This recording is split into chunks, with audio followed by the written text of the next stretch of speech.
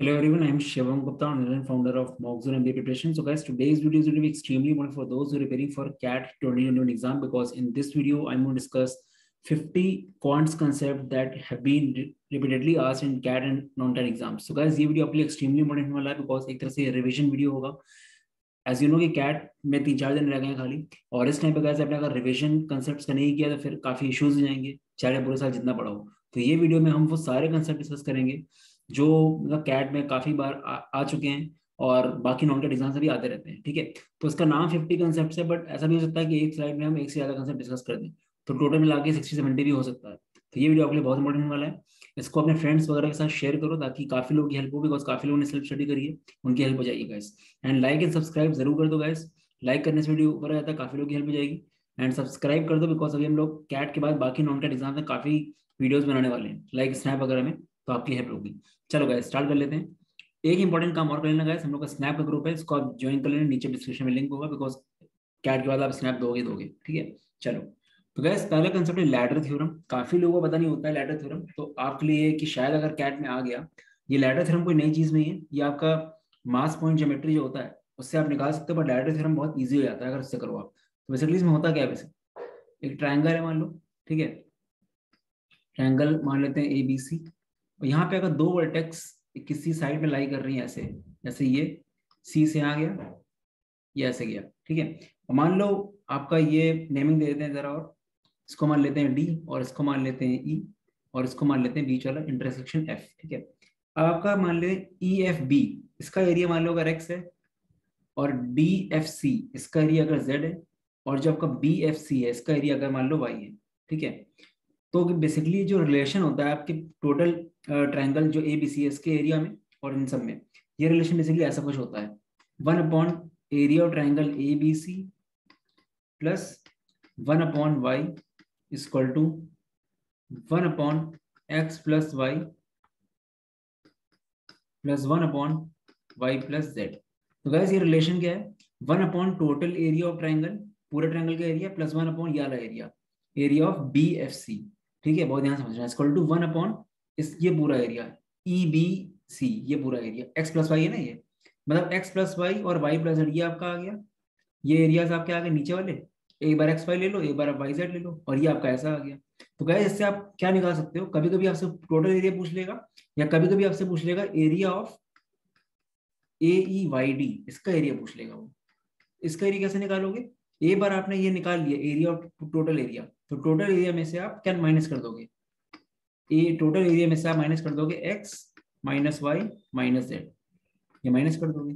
पूरे में से अगर आप एक्स वाई जेड माइनस कर दोगे तो आपको ये मिल जाएगा ना? तो पहले आपको एबीसी निकालना पड़ेगा तो ये रिलेशन आप नोट कर लो बहुत इंपॉर्टेंट इसको बोलते हैं लैटर थ्योरम ठीक है? इंपॉर्टेंट है काफ़ी। चलो चलते हैं आगे।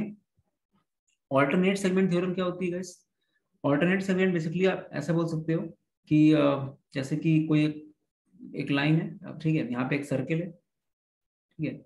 ये। और ये मान लेते हैं आपका ऐसे है, ठीक है?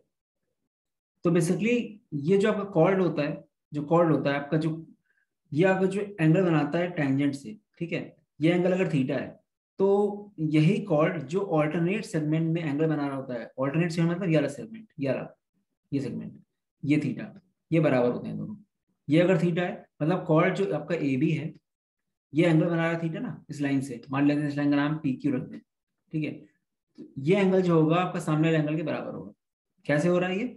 ये जो आपका कॉल्ड है ना कॉल्ड जो एंगल बना रहा है ऑल्टरनेट सेगमेंट से ऑल्टरनेट सेगमेंट ये हुआ। ठीक ग्यारह सेगमेंट इससे ठीक है, ये आपका हो गया। तो ये आपका होता है ऑल्टरनेट सेगमेंट तो क्वेश्चन कैसे आते हैं? मान लो आपको ऐसा दिया गया कुछ। आपको ऐसा कुछ दिया गया है। ठीक है, ये टेंजेंट है ठीक है। आपको मान लो सपोज़ करो, ऐसा क्वेश्चन आ गया। कैट में पहला क्वेश्चन यही हो गया कि यल एंगल दिया गया आपको 40 डिग्री और आपको यल एंगल दिया गया है 30 डिग्री आपको पूछा है find this angle L angle ठीक है? आपको ये एंगल पूछ लिया गया। तो ये अगर 40 है तो ये भी 40 होगा ऑल्टरनेट सेगमेंट से। ठीक है? तो 40 और 30 मिल गया तो ये निकाल लोगे आप। या फिर ये भी पूछ सकता है, वो यल एंगल बताओ। ये दोनों निकाल लिए तो ये भी निकाल लोगे आप। तो डायरेक्टली तो नहीं पूछेगा, पूछने को पूछ भी सकता है बट कुछ ना कुछ दे देगा। तो गैस प्रॉपर्टीज़ रिवाइज करना बहुत इंपॉर्टेंट होता है। बिकॉज़ प्रॉपर्टीज़ अगर आपको आती है तो कैट में बहुत टाइप क्वेश्चन नहीं आ सकते ज्योमेट्री के।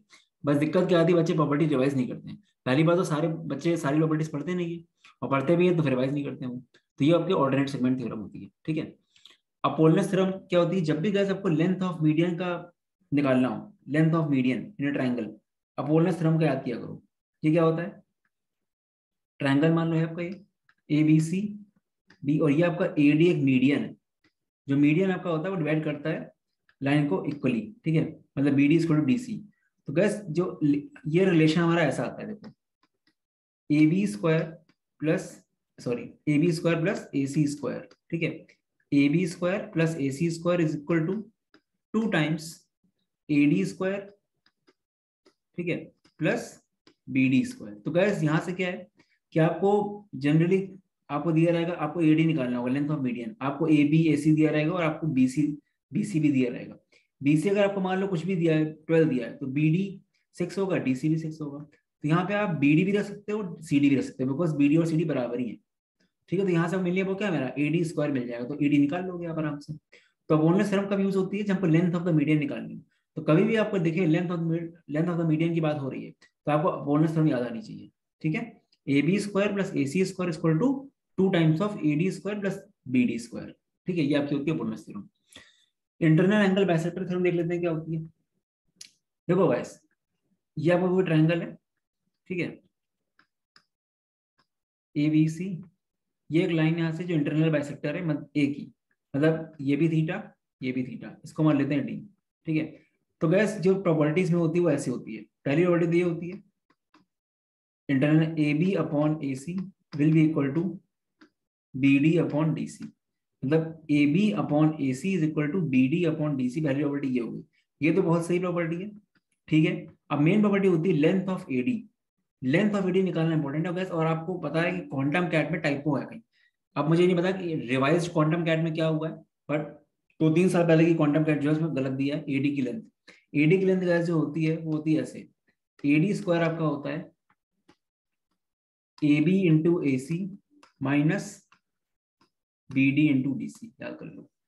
जो ए डी स्क्वायर आपका होता है ना ए डी स्क्वायर ये ये सॉरी ए डी स्क्वायर ये length length of the internal angle bisector ठीक है ए डी स्क्वायर ये आपका होता है A B into A C minus B D into D C ठीक है। तो ये आपका लेंथ होती है। तो लेंथ निकालना बहुत इंपॉर्टेंट है। लेंथ आ सकती है एग्ज़ाम में, ठीक है। Length of the internal angle bisector आ सकता है। और यहाँ पे एक बहुत अच्छा क्वेश्चन क्या बनता है गैस कभी कभी आपको एरिया के टर्म से भी आप निकाल सकते हो, अगर आपको एंगल दिया है। जैसे मान लो क्वेश्चन आपका आ गया, जैसे मान लो ऐसा कुछ क्वेश्चन आ गया, ये बहुत पॉपुलर क्वेश्चन है। ये आपको थर्टी दिया है, ये भी आपको थर्टी दिया है, ये फोर दिया है, ये फाइव दिया है। तो कैसे आप लेंथ एडी की निकाल सकते हो ऐसे। इसको मान लेते हैं अगर बी और सी तो ए बी सी का एरिया क्या हो जाएगा? ए बी सी का एरिया मेरा हो जाएगा one by two into four into A D ठीक है इंटू साइन थर्टी मतलब हम क्या कर रहे हैं? हम ए बी डी का एरिया निकाल रहे हैं। Half into A B into A D into sine theta से। और हम इसको ऐड करेंगे किसके साथ? ए डी सी के एरिया के साथ ऐड करेंगे। तो one by two into A D into five into again sine thirty ये बराबर हो जाएगा पूरे ट्रायंगल के एरिया के साथ। आपको पता है ना, किसी ट्रायंगल में अगर दो साइड दियो, बीच के एंगल दियो तो one by two into A B into A C into sine theta होता है। तो वही चीज़ कर रहे हैं। ठीक है? तो ये आपका हो जाएगा one by two into four into five into sine sixty. ये आपका टोटल हो गया। तो गैस यहाँ से वन बाई टू वगैरह सब कट जाएगा आपका, आपको एडी निकालना है बस, ठीक है? तो एडी आपको निकालेगा आराम से। तो गैस कभी भी ऐसा कोई क्वेश्चन है जहाँ पे ट्रायंगल हो, ठीक है? और आपके ए बी और ए सी आपको दिए हो, बीच का एंगल दियो तो आप एडी निकाल सकते हो डायरेक्टली इस तरह से। क्या आप ए बी डी का एरिया निकालो ए डी सी का एरिया निकालो और पूरे का एरिया निकाल के दोनों को इक्वेट कर दो। अगर टोटल एरिया हो जाएगा ना? तो ये ऐसे आ जाएगा आपका। ये कंसेप्ट कई बार आया I M S M CAT में, ठीक है? इंपॉर्टेंट है ये। ट्राइपेजियम की कुछ प्रॉपर्टीज़ देख लेते हैं जल्दी से। ये आपका ट्राइपेजियम है, ठीक है? ए बी सी डी बस पहली चीज़ तो ये होती है, कोई भी आपका ट्रेपेज सॉरी कोई भी आपका ट्रेपेजियम होता है, ये मैं हटा देता हूँ उसमें, फिर बना देते हैं, ना करे हो जाएगा। हम्म देखो गैस ट्रेपेजियम आपका है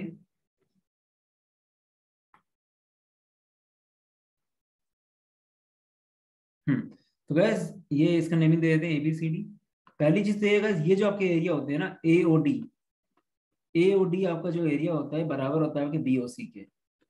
ये दोनों एरियाज़ को आप ए मान सकते हो। A O D equal B O C ठीक है? तो ये काफ़ी इंपॉर्टेंट होता है। और आपको पता है, किसी भी क्वाड्रिलेटरल में जो प्रोडक्ट होता है एरियाज़ का अपोजिट साइड कैसे मान लो? अगर हम इसको देख लें, ये। ये हमारा ए ओ बी और डी ओ सी तो हम इसको ऐसे बोल सकते हैं। A into A will be equal to A B into D O C इसको आप ऐसे बोल सकते हो। ठीक है? इसको आप ऐसे बोल सकते हो। A O B into D O C will be equal to A into A ये बोल सकते हो आप इसको। ठीक है? तो गैस बहुत सारे क्वेश्चन आते हैं इसमें। जैसे कि आपका ये तो मेन चीज़ हो गई कि ये दोनों एरियाज़ बराबर होते हैं। ठीक है? और फिर आपका A O B into D O C will be equal to A into A because ये प्रॉपर्टी होती है किसी भी उसकी। यहाँ लिख देता हूँ एक बार। जैसे कोई भी आपका क्वाड्रिलेटरल है ऐसे डायगोनल्स हैं, ठीक है? अगर इस, इसका एरिया ए है इसका एरिया बी इसका सी इसका डी तो ऐसा होता है ये। A into B is equal to C into D होता है ये, ठीक है? याद रखना ये चीज़। अगर इसमें क्वेश्चन कैसे आते हैं? एक चीज़ इसमें और है। पहले तो प्रॉपर्टी देख लो। ये एक्चुअली जो ट्राइंगल है ना ए ओ बी और D O C similar triangles हैं दोनों। ए ओ बी और D O C similar triangles हैं। तो आपका A B upon D C जो होता है, वो बराबर होता है आपके A B upon D C बराबर होता है A O upon O C के equal to B O upon O D के। ठीक है? ये। और जो इनके एरियाज़ होते हैं गैस जैसे मान लो ए बी दिया है, आपका ए बी और सी डी का रेशियो अगर मान लो वन टू दिया गया है ए बी और सी डी का रेशियो वन टू दिया है तो हमने आपको बताया था कि कभी भी सिमिलर ट्रायंगल सकते हैं, उसमें अगर साइड का रेशियो वन टू हो तो उनके एरियाज़ का रेशियो क्या हो जाएगा? वन स्क्वायर टू स्क्वायर तो ए बी और सी डी का रेशियो अगर वन टू है तो उनके तो उनके एरियाज़ का रेशियो क्या हो जाएगा? ये हो जाएगा आपका वन इज़ टू फोर तो आप बोल सकते हो area of A O B and C O D is one is two four मतलब एक्स एंड फोर एक्स ले सकते हैं। तो हम मान सकते हैं कि ए ओ बी का एरिया एक्स है और सी ओ डी का एरिया फोर एक्स है। एक्चुअली क्वेश्चन आपके ऐसा ही आएगा। ठीक है? कि आपको ए बी और सी डी का रेशियो दिया जाएगा वन इज़ टू आपने एरिया निकाल लिया रेशियो टर्म्स में एक्स एंड फोर एक्स फिर आप क्या करोगे? X into four x will be equal to A into A ऐसा कुछ करोगे आप। ठीक है? तो x आपको मिल जाएगा ए के टर्म्स में। एक्स आपको मिल जाएगा ए के टर्म्स में। ठीक है तो x आपको ए के टर्म्स में आ गया। तो बस आपको सवाल एरिया स्क्वायर करना A plus A plus x plus four x और एक्स आपका ए के टर्म्स में आ चुका है। तो कर लोगे आराम से ट्रेबीजियम ठीक है तो ये इंपॉर्टेंट चीज़ है काफ़ी ये आते हैं क्वेश्चन इस तरह के। ठीक है तो ये प्रॉपर्टीज़ हैं इंपॉर्टेंट है काफ़ी। ठीक है ट्रेबीजियम की। इसको बोलते हैं एरिया प्रॉपर्टी मतलब इसमें एरिया वगैरह का कैसे निकलना है, ठीक है, वो इंपॉर्टेंट है। अब आते हैं line dividing into two equal areas ठीक है? अब हमें अभी हम ट्रेपेजियम की और भी प्रॉपर्टीज़ काफ़ी डिस्कस करेंगे। तो एक प्रॉपर्टी का ये होती है ट्रेपेजियम की यहीं भी मैं और प्रॉपर्टीज़ डिस्कस कर लूँगा। अगर कोई आपका ट्रेपेजियम है ए बी सी डी ये ऐसे आपका है ये एरिया ए है और ये भी एरिया ए है ठीक है? दोनों एरियाज़ अगर बराबर है आपके ठीक है? मतलब ये जो लाइन है ना पी क्यू ये डिवाइड करिए दो, दोनों एक ट्रेपेजियम को इक्वल एरियाज़ में। तो जो पी क्यू लेंथ होती है गाइस वो आपकी होती है अगर इसकी साइड आप मान लो ए है और इसकी साइड बी है ठीक है? इन दोनों साइड अगर ऐसा मान लो तो ये फॉर्मूला जो हो जाएगा हो जाएगा ये under root of A square plus B square by two ये हो जाएगा। ठीक है? ये हो जाएगा under root of A square plus B square by two ये होती है ट्रेपेजियम की फॉर्मूला ठीक है? हाँ अब आते हैं जरा उसमें एक नई प्रॉपर्टी में, यहाँ पे हम कुछ प्रॉपर्टीज़ डिस्कस करेंगे और पहले एक इंपॉर्टेंट प्रॉपर्टी देख लेते हैं। अगर डायगोनल्स एंड साइड्स में relation A B C D एक ट्रेपेजियम है।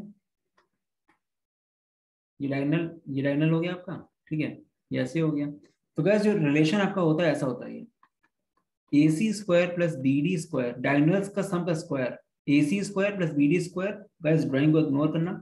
Is equal to A D square ठीक है?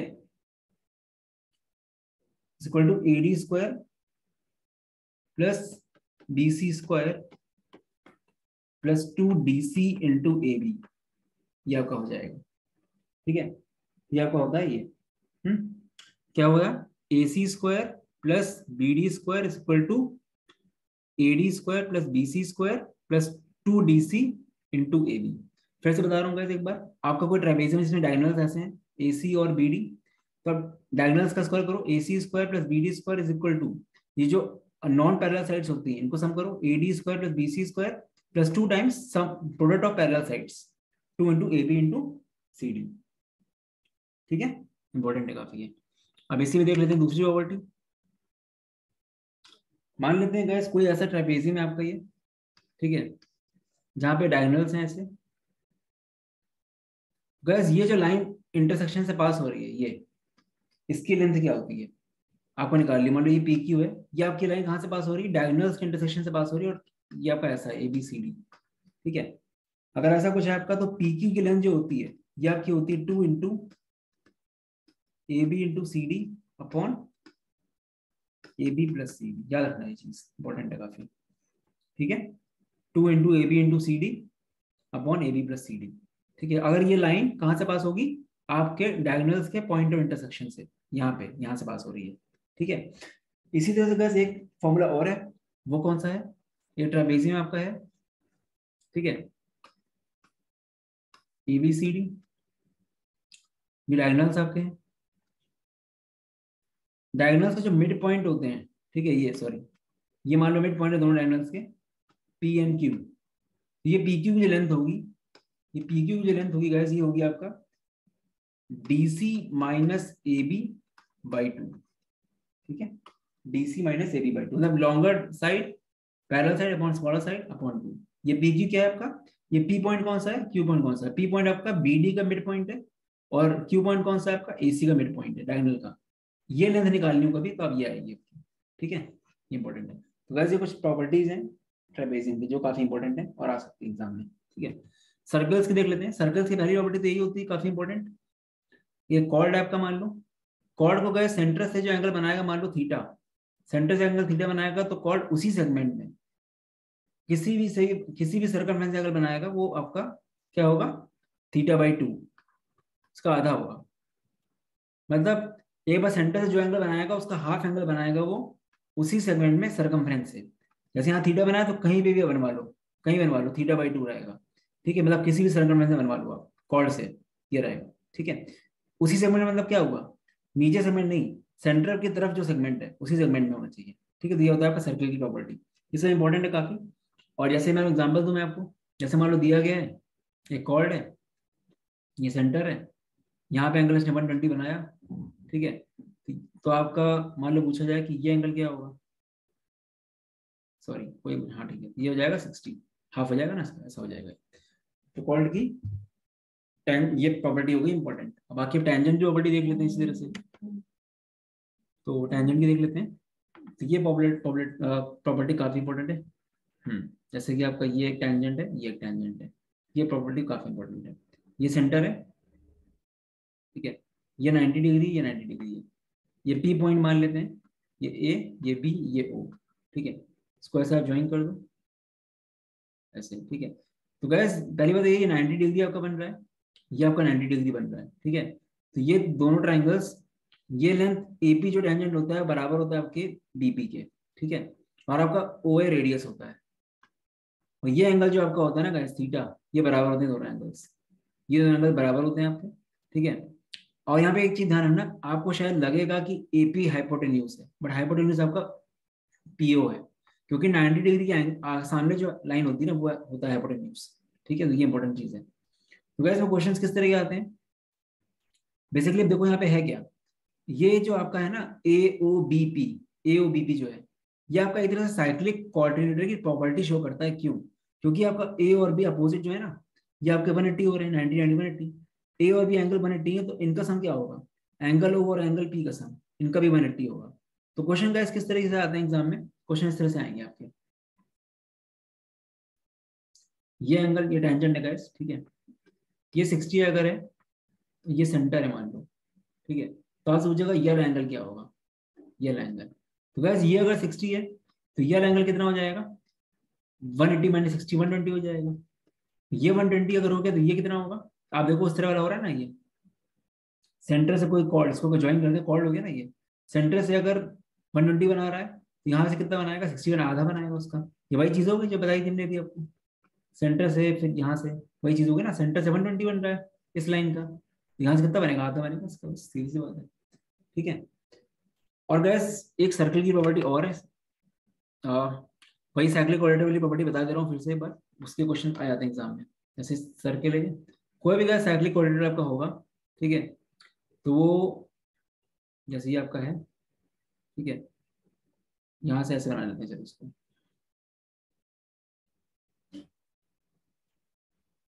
ये। तो गैस ये दोनों एंगल आके 180 सम होता है। ये थीटा और ये x theta plus x one होगा। ये दोनों आपके वन सम होंगे, ठीक है? ये जी इंपॉर्टेंट है। तो कभी कभी ऐसा क्वेश्चन आता है एग्ज़ाम में। जैसे कि आपको दे दिया गया 120 डिग्री एंगल ये वाला आपको पूछा गया नीचे वाला एंगल ये ये निकालो। तो कैसे आएगा? ये अगर 120 है तो ऊपर वाला कितना हो जाएगा? 60 अब गाइस ऊपर वाला 60 है और नीचे वाला क्या है? ये दोनों का सम कितना होगा? 60 plus something is two 180 because आपका जो ए बी सी डी है ए बी सी डी एक साइक्लिक कोऑर्डिनेटर है ना? तो उस तरह से आपका डी कितना आ जाएगा? 180 माइनस सिक्सटी वन ट्वेंटी ठीक है? तो ऐसा क्वेश्चन को ऐसे किया जाता है कि पहले ऊपर निकाल लो, फिर नीचे निकाल लो बाद में, क्योंकि आपका साइक्लिक कोऑर्डिनेटर कंस्ट्रक्ट हो जाएगा वो। जैसे आप ऊपर ज्वाइन करोगे इसको बी को, ठीक है? सर्किल की कॉर्ड रिलेटेड प्रॉपर्टी देख लेते हैं क्या है। कोई भी गैस दो कॉर्ड्स हो, ऐसे, बहुत इंपॉर्टेंट है। ए बी सी डी ये दिया, ये ओ है। तो ये याद रखना A O into O B is equal to C O into O D मतलब A O into O B is equal to C O into O D जैसे आपको दे देगा एग्ज़ाम में A O five O B six D O two कहेगा C ओ निकालो। CAT का पहला क्वेश्चन तो कर लोगे तुरंत। कॉर्ड की प्रॉपर्टी सर्किल की ठीक है? टॉलमीज थ्योरम देख लो, जल्दी से आ सकती है। वैसे आना नहीं चाहिए बट आने को कुछ नहीं हो सकता आने को आ भी सकती है। ठीक है? देखो गाइस कोई सर्किल है, और साइक्लिक क्वालिटी बना लेते हैं जरा। ये। ठीक है? यहाँ पे डायनल्स बना लो जरा इसको। डायनल्स बना लो। ये डायनल और ये डायनल ठीक है? A B C and D, ठीक है? ये डायनल्स है गाइस ए सी डायनल और बी डी डायनल है ठीक है? तो गाइस टॉलमीज थ्योरम क्या बोलती है? टॉलमीज थ्योरम इसे रिलेशन दिखाती है डायगोनल्स और साइड्स में। तो A C into B D diagonals का product will be equal to A B into C D plus A D into B C ये होता है।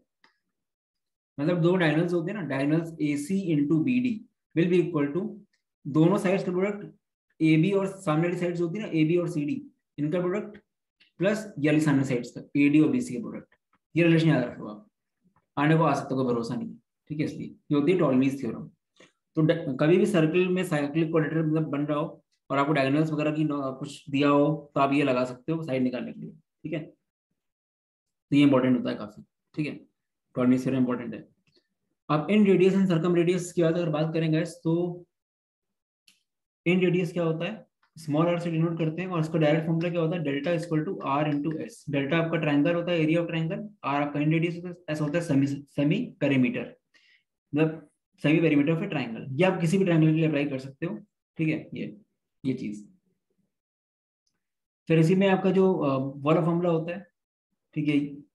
सर्क उसके लिए सर्कम रेडियस वो होता है आपका A B C upon four R area of triangle equal to A into B into C sides है, और फोर आपका क्या है? फोर इंटू आर आपका आर आपका क्या है? सर्कम रेडियस है, ठीक है? तो यहाँ मैं कुछ बातें करने वाला हूँ, और ये तो नॉर्मल ट्रायंगल के लिए हो गया। अब बस बात करते हैं कुछ राइट एंगल की। पहले बस राइट एंगल में एक इंपॉर्टेंट चीज़ बता दें आपको। राइट एंगल ट्रायंगल में कोई नॉर्मल अगर राइट एंगल ट्रायंगल है, उसमें अगर मीडियन की लेंथ की बात करें, जो मीडियन होता है ना, जैसे मान लो ए बी सी ये डी है। पहली बात तो ये है जो लेंथ ऑफ़ द मीडियन होती है, ठीक है? ये आपकी होती है। पहली बात तो ये है कि राइट एंगल ट्रायंगल में जो आपका इन रेडियस होता है, उसकी लेंथ निकालते हैं पहले। अगर ये ए है, ये बी है और हाइपोटेन्यूज आपका मान लो एच है, ठीक है? तो इन रेडियस की अगर बात करें ठीक है तो ये आपका होता है A plus B minus H by two किसी भी राइट एंगल ट्रायंगल में आपका जो इन रेडियस होता है, ये होता है A plus B height plus base minus H by two ये आपका होता है। और सरकम रेडियस होता है जो, ये आपका होता है हाइपोटेन्यूज बाई टू किसी भी राइट एंगल में आप ये भी लगा सकते हो बट डायरेक्ट फॉर्मूला ये है। और दूसरी बात जो आपका ये होता है ना circumradius H by two यही आपका बराबर होता है मीडियन के। ठीक है जो आप बी से मीडियन जाकर नाइनटी डिग्री जो मीडियन जाता है ना हाइपोटेन्यूज पे ये लेंथ जो होती है बी डी बी डी एक मीडियन है गैस ठीक है? आप बीडी को नाइनटी डिग्री में समझ लेना। बी डी यहाँ पे नाइनटी डिग्री नहीं है खाली मीडियन है ठीक है? हम्म। तो ये बी डी लेंथ जो होगी ये आपकी किसके बराबर होगी? सरकम रेडियस बराबर होगी एच बाई टू होगी। बट इसी तरह जब ये आइसोसेलस ट्रायंगल बन जाता है आइसोसेलस राइट एंगल ट्रायंगल उस केस में गैस ये मीडियन आपका नाइनटी डिग्री में आ जाता है, ठीक है? उस केस में आपका नाइनटी डिग्री में आ जाता है मीडियन और तब भी वही चीज़ रहेगी। एच वो तो रहेगा ही रहेगा, बस ये आपका तब ये आपका ऑल्टीट्यूड बन जाएगा। इस केस में अभी ऑल्टीट्यूड नहीं है ये। जब आइसोलेस बनेगा, तब सिमेट्रिकल हो जाएगा तो हो जाएगा, ठीक है? और इसी से मुझे चीज़ याद आई बहुत इंपॉर्टेंट प्रॉपर्टी ट्रायंगल की। वो बताता हूँ मैं। तो क्या प्रॉपर्टी है? कोई अगर आपका राइट एंगल ट्रायंगल है, ठीक है? ए बी सी और आप 90 डिग्री से ये परमानेंट डाल रहे वैसे बी डी तो लेंथ ऑफ़ बी डी जो होती है, वो आपकी बेसिकली होती है A B into B C height into base upon hypotenuse ये लेंथ ऑफ़ बी डी ये कैसे आता है गैस ये आप दो बार एरिया इक्वेट करो। पहले एरिया ट्रायंगल क्या हो जाएगा? One by two into A B into B C ये एरिया किस हो जाएगा। अगर हम बेस को ए सी ले लें और हाइट को बी डी ले लें, पहले हमने क्या किया? हमने बेस को बी सी लिया और हाइट को ए बी लिया। तो ये मेरा आ गया। अब हम क्या करेंगे? बेस को ए सी लेंगे और हाइट को बी डी लेंगे। तब भी मेरा एरिया आ जाएगा। ठीक है? वन बाई टू मेरे को क्या बी डी कितना आ गया? A B into B C by A C ये आ गया आपका। तो ये बहुत इंपॉर्टेंट प्रॉपर्टी है। ठीक है? तो ये आपका ऑल्टीट्यूड है। तो गैस मीडियन और ऑल्टीट्यूड मिक्स मत कर देना। ठीक है? नॉर्मल ट्रायंगल में। बस एक्सेलस में सही रहेगा वो। एरिया में मीडियंस आर गिवन अगर आपके मीडियंस मान लो ए बी सी हैं, ठीक है तो एरिया ऑफ़ ट्रायंगल क्या आ जाएगा? Four by three times of under root S into S minus A S minus B S minus C यहाँ पे ए बी सी आपके लेंथ ऑफ़ मीडियंस हैं ट्रायंगल के, ठीक है? और एस आपका समी ये कह लो कि मीडियन का sum of all the medians का हाफ़ है वो, ठीक है? जैसे a plus b plus c by two ही है वो, ठीक है? एस तो वैसे आपका हीरो फॉर्मूला क्या होता है? साइड्स होती है एबीसी तो डायरेक्टली होता है under root of S into S minus into S minus B into S minus C but ये यहाँ पे आपके एबीसी साइड्स नहीं मीडियंस हैं ट्रायंगल के. ट्रायंगल के तीन मीडियंस हो सकते हैं ना? यहाँ से यहाँ से यहाँ से. तो ये तीन मीडियंस की आपको लेंथ दी गई तो क्या होगा एरिया आपसे बोल दिया जाएगा मान लो three four five are the medians of triangle find the area तो बस फोर बाई थ्री मल्टीप्लाई कर दो उसमें. Four by three into under root of this ठीक है? If the ratio of sum of n terms of two APs is 7n plus 1 is to 4n plus 27, then the ratio of their 11th term. ऐसा question बहुत आता है। यहाँ पे आपको ratio of sum of n terms याद रखना बस।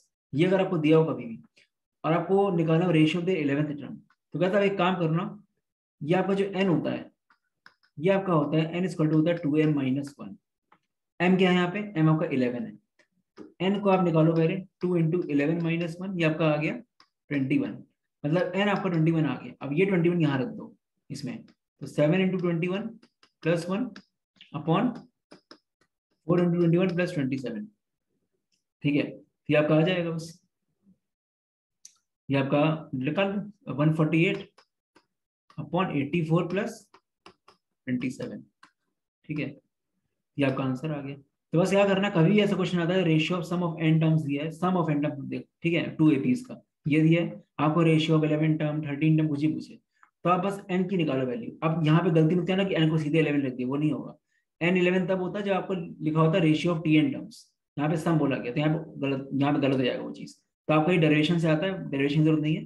सीधे आप यहाँ ये फॉर्मुला लगाओ। एन आपका हो जाएगा टू एम माइनस वन और एम को रखो यहाँ पे आप इलेवन तो two into twenty two two into eleven minus one twenty two minus one is twenty one ठीक ट्वेंटी वन रख दो एन को आ जाएगा आंसर आपका।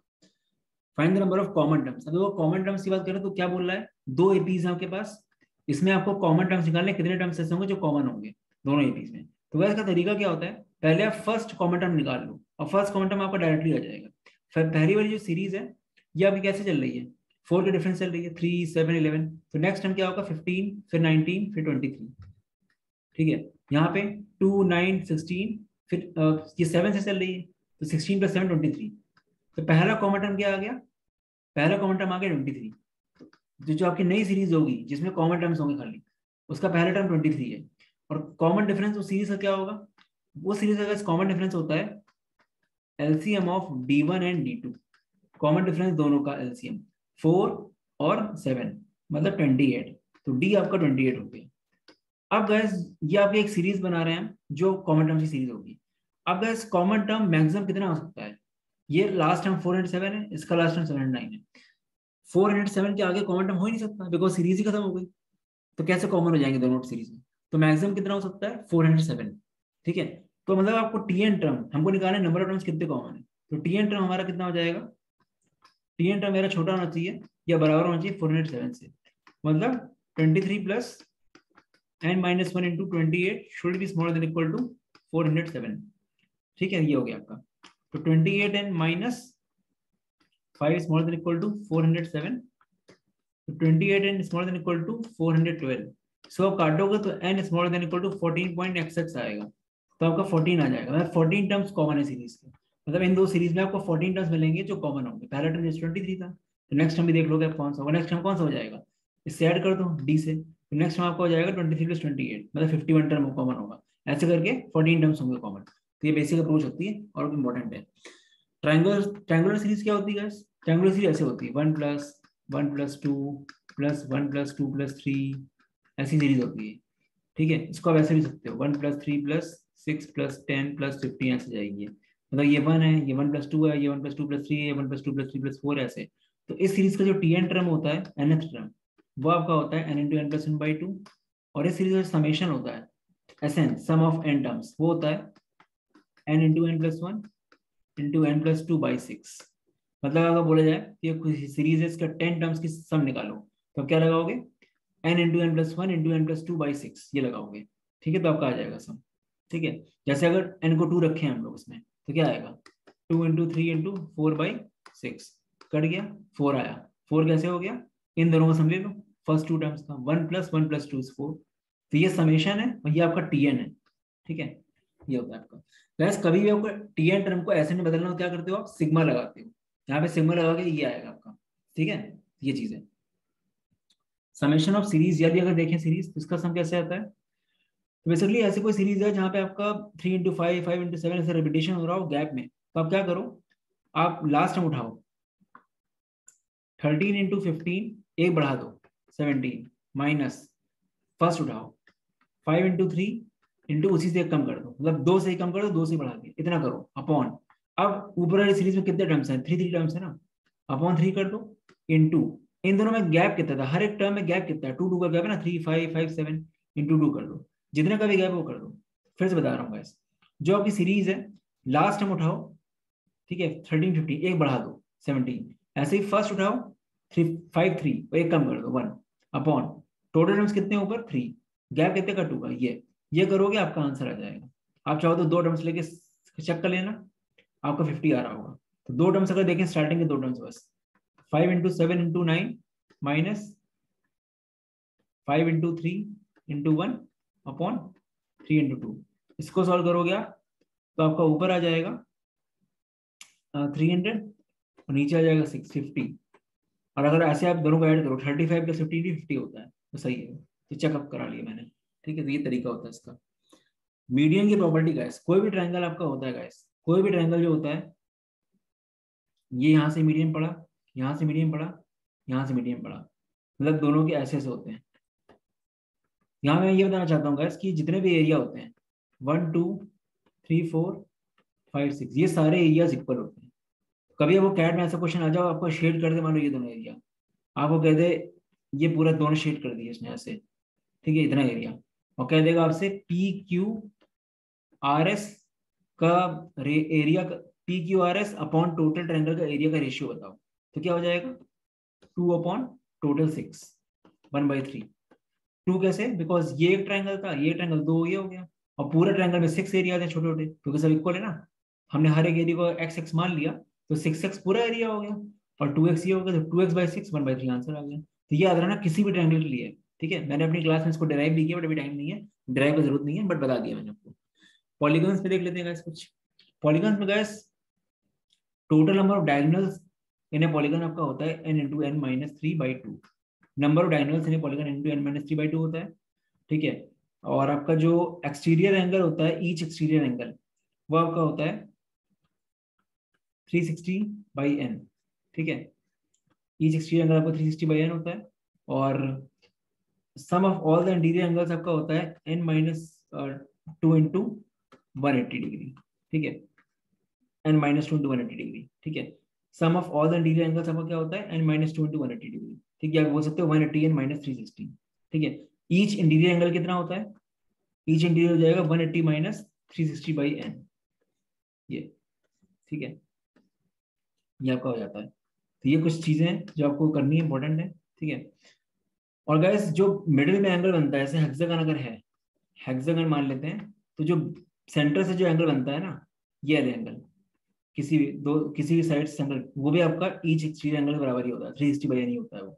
ठीक है? तो ये आपका ये इंपॉर्टेंट है. Of diagonals in a polygon. N into n minus 3 by 2 जैसे आप स्क्वायर करो स्क्वायर में दो डायंगल्स होते हैं तो four into three by two two diagonals आ गए. ठीक है? एरिया बाउंड ये आपका दो साल से आ रहा है, दो हज़ार पंद्रह भी आया था, दो हज़ार सत्रह भी आया.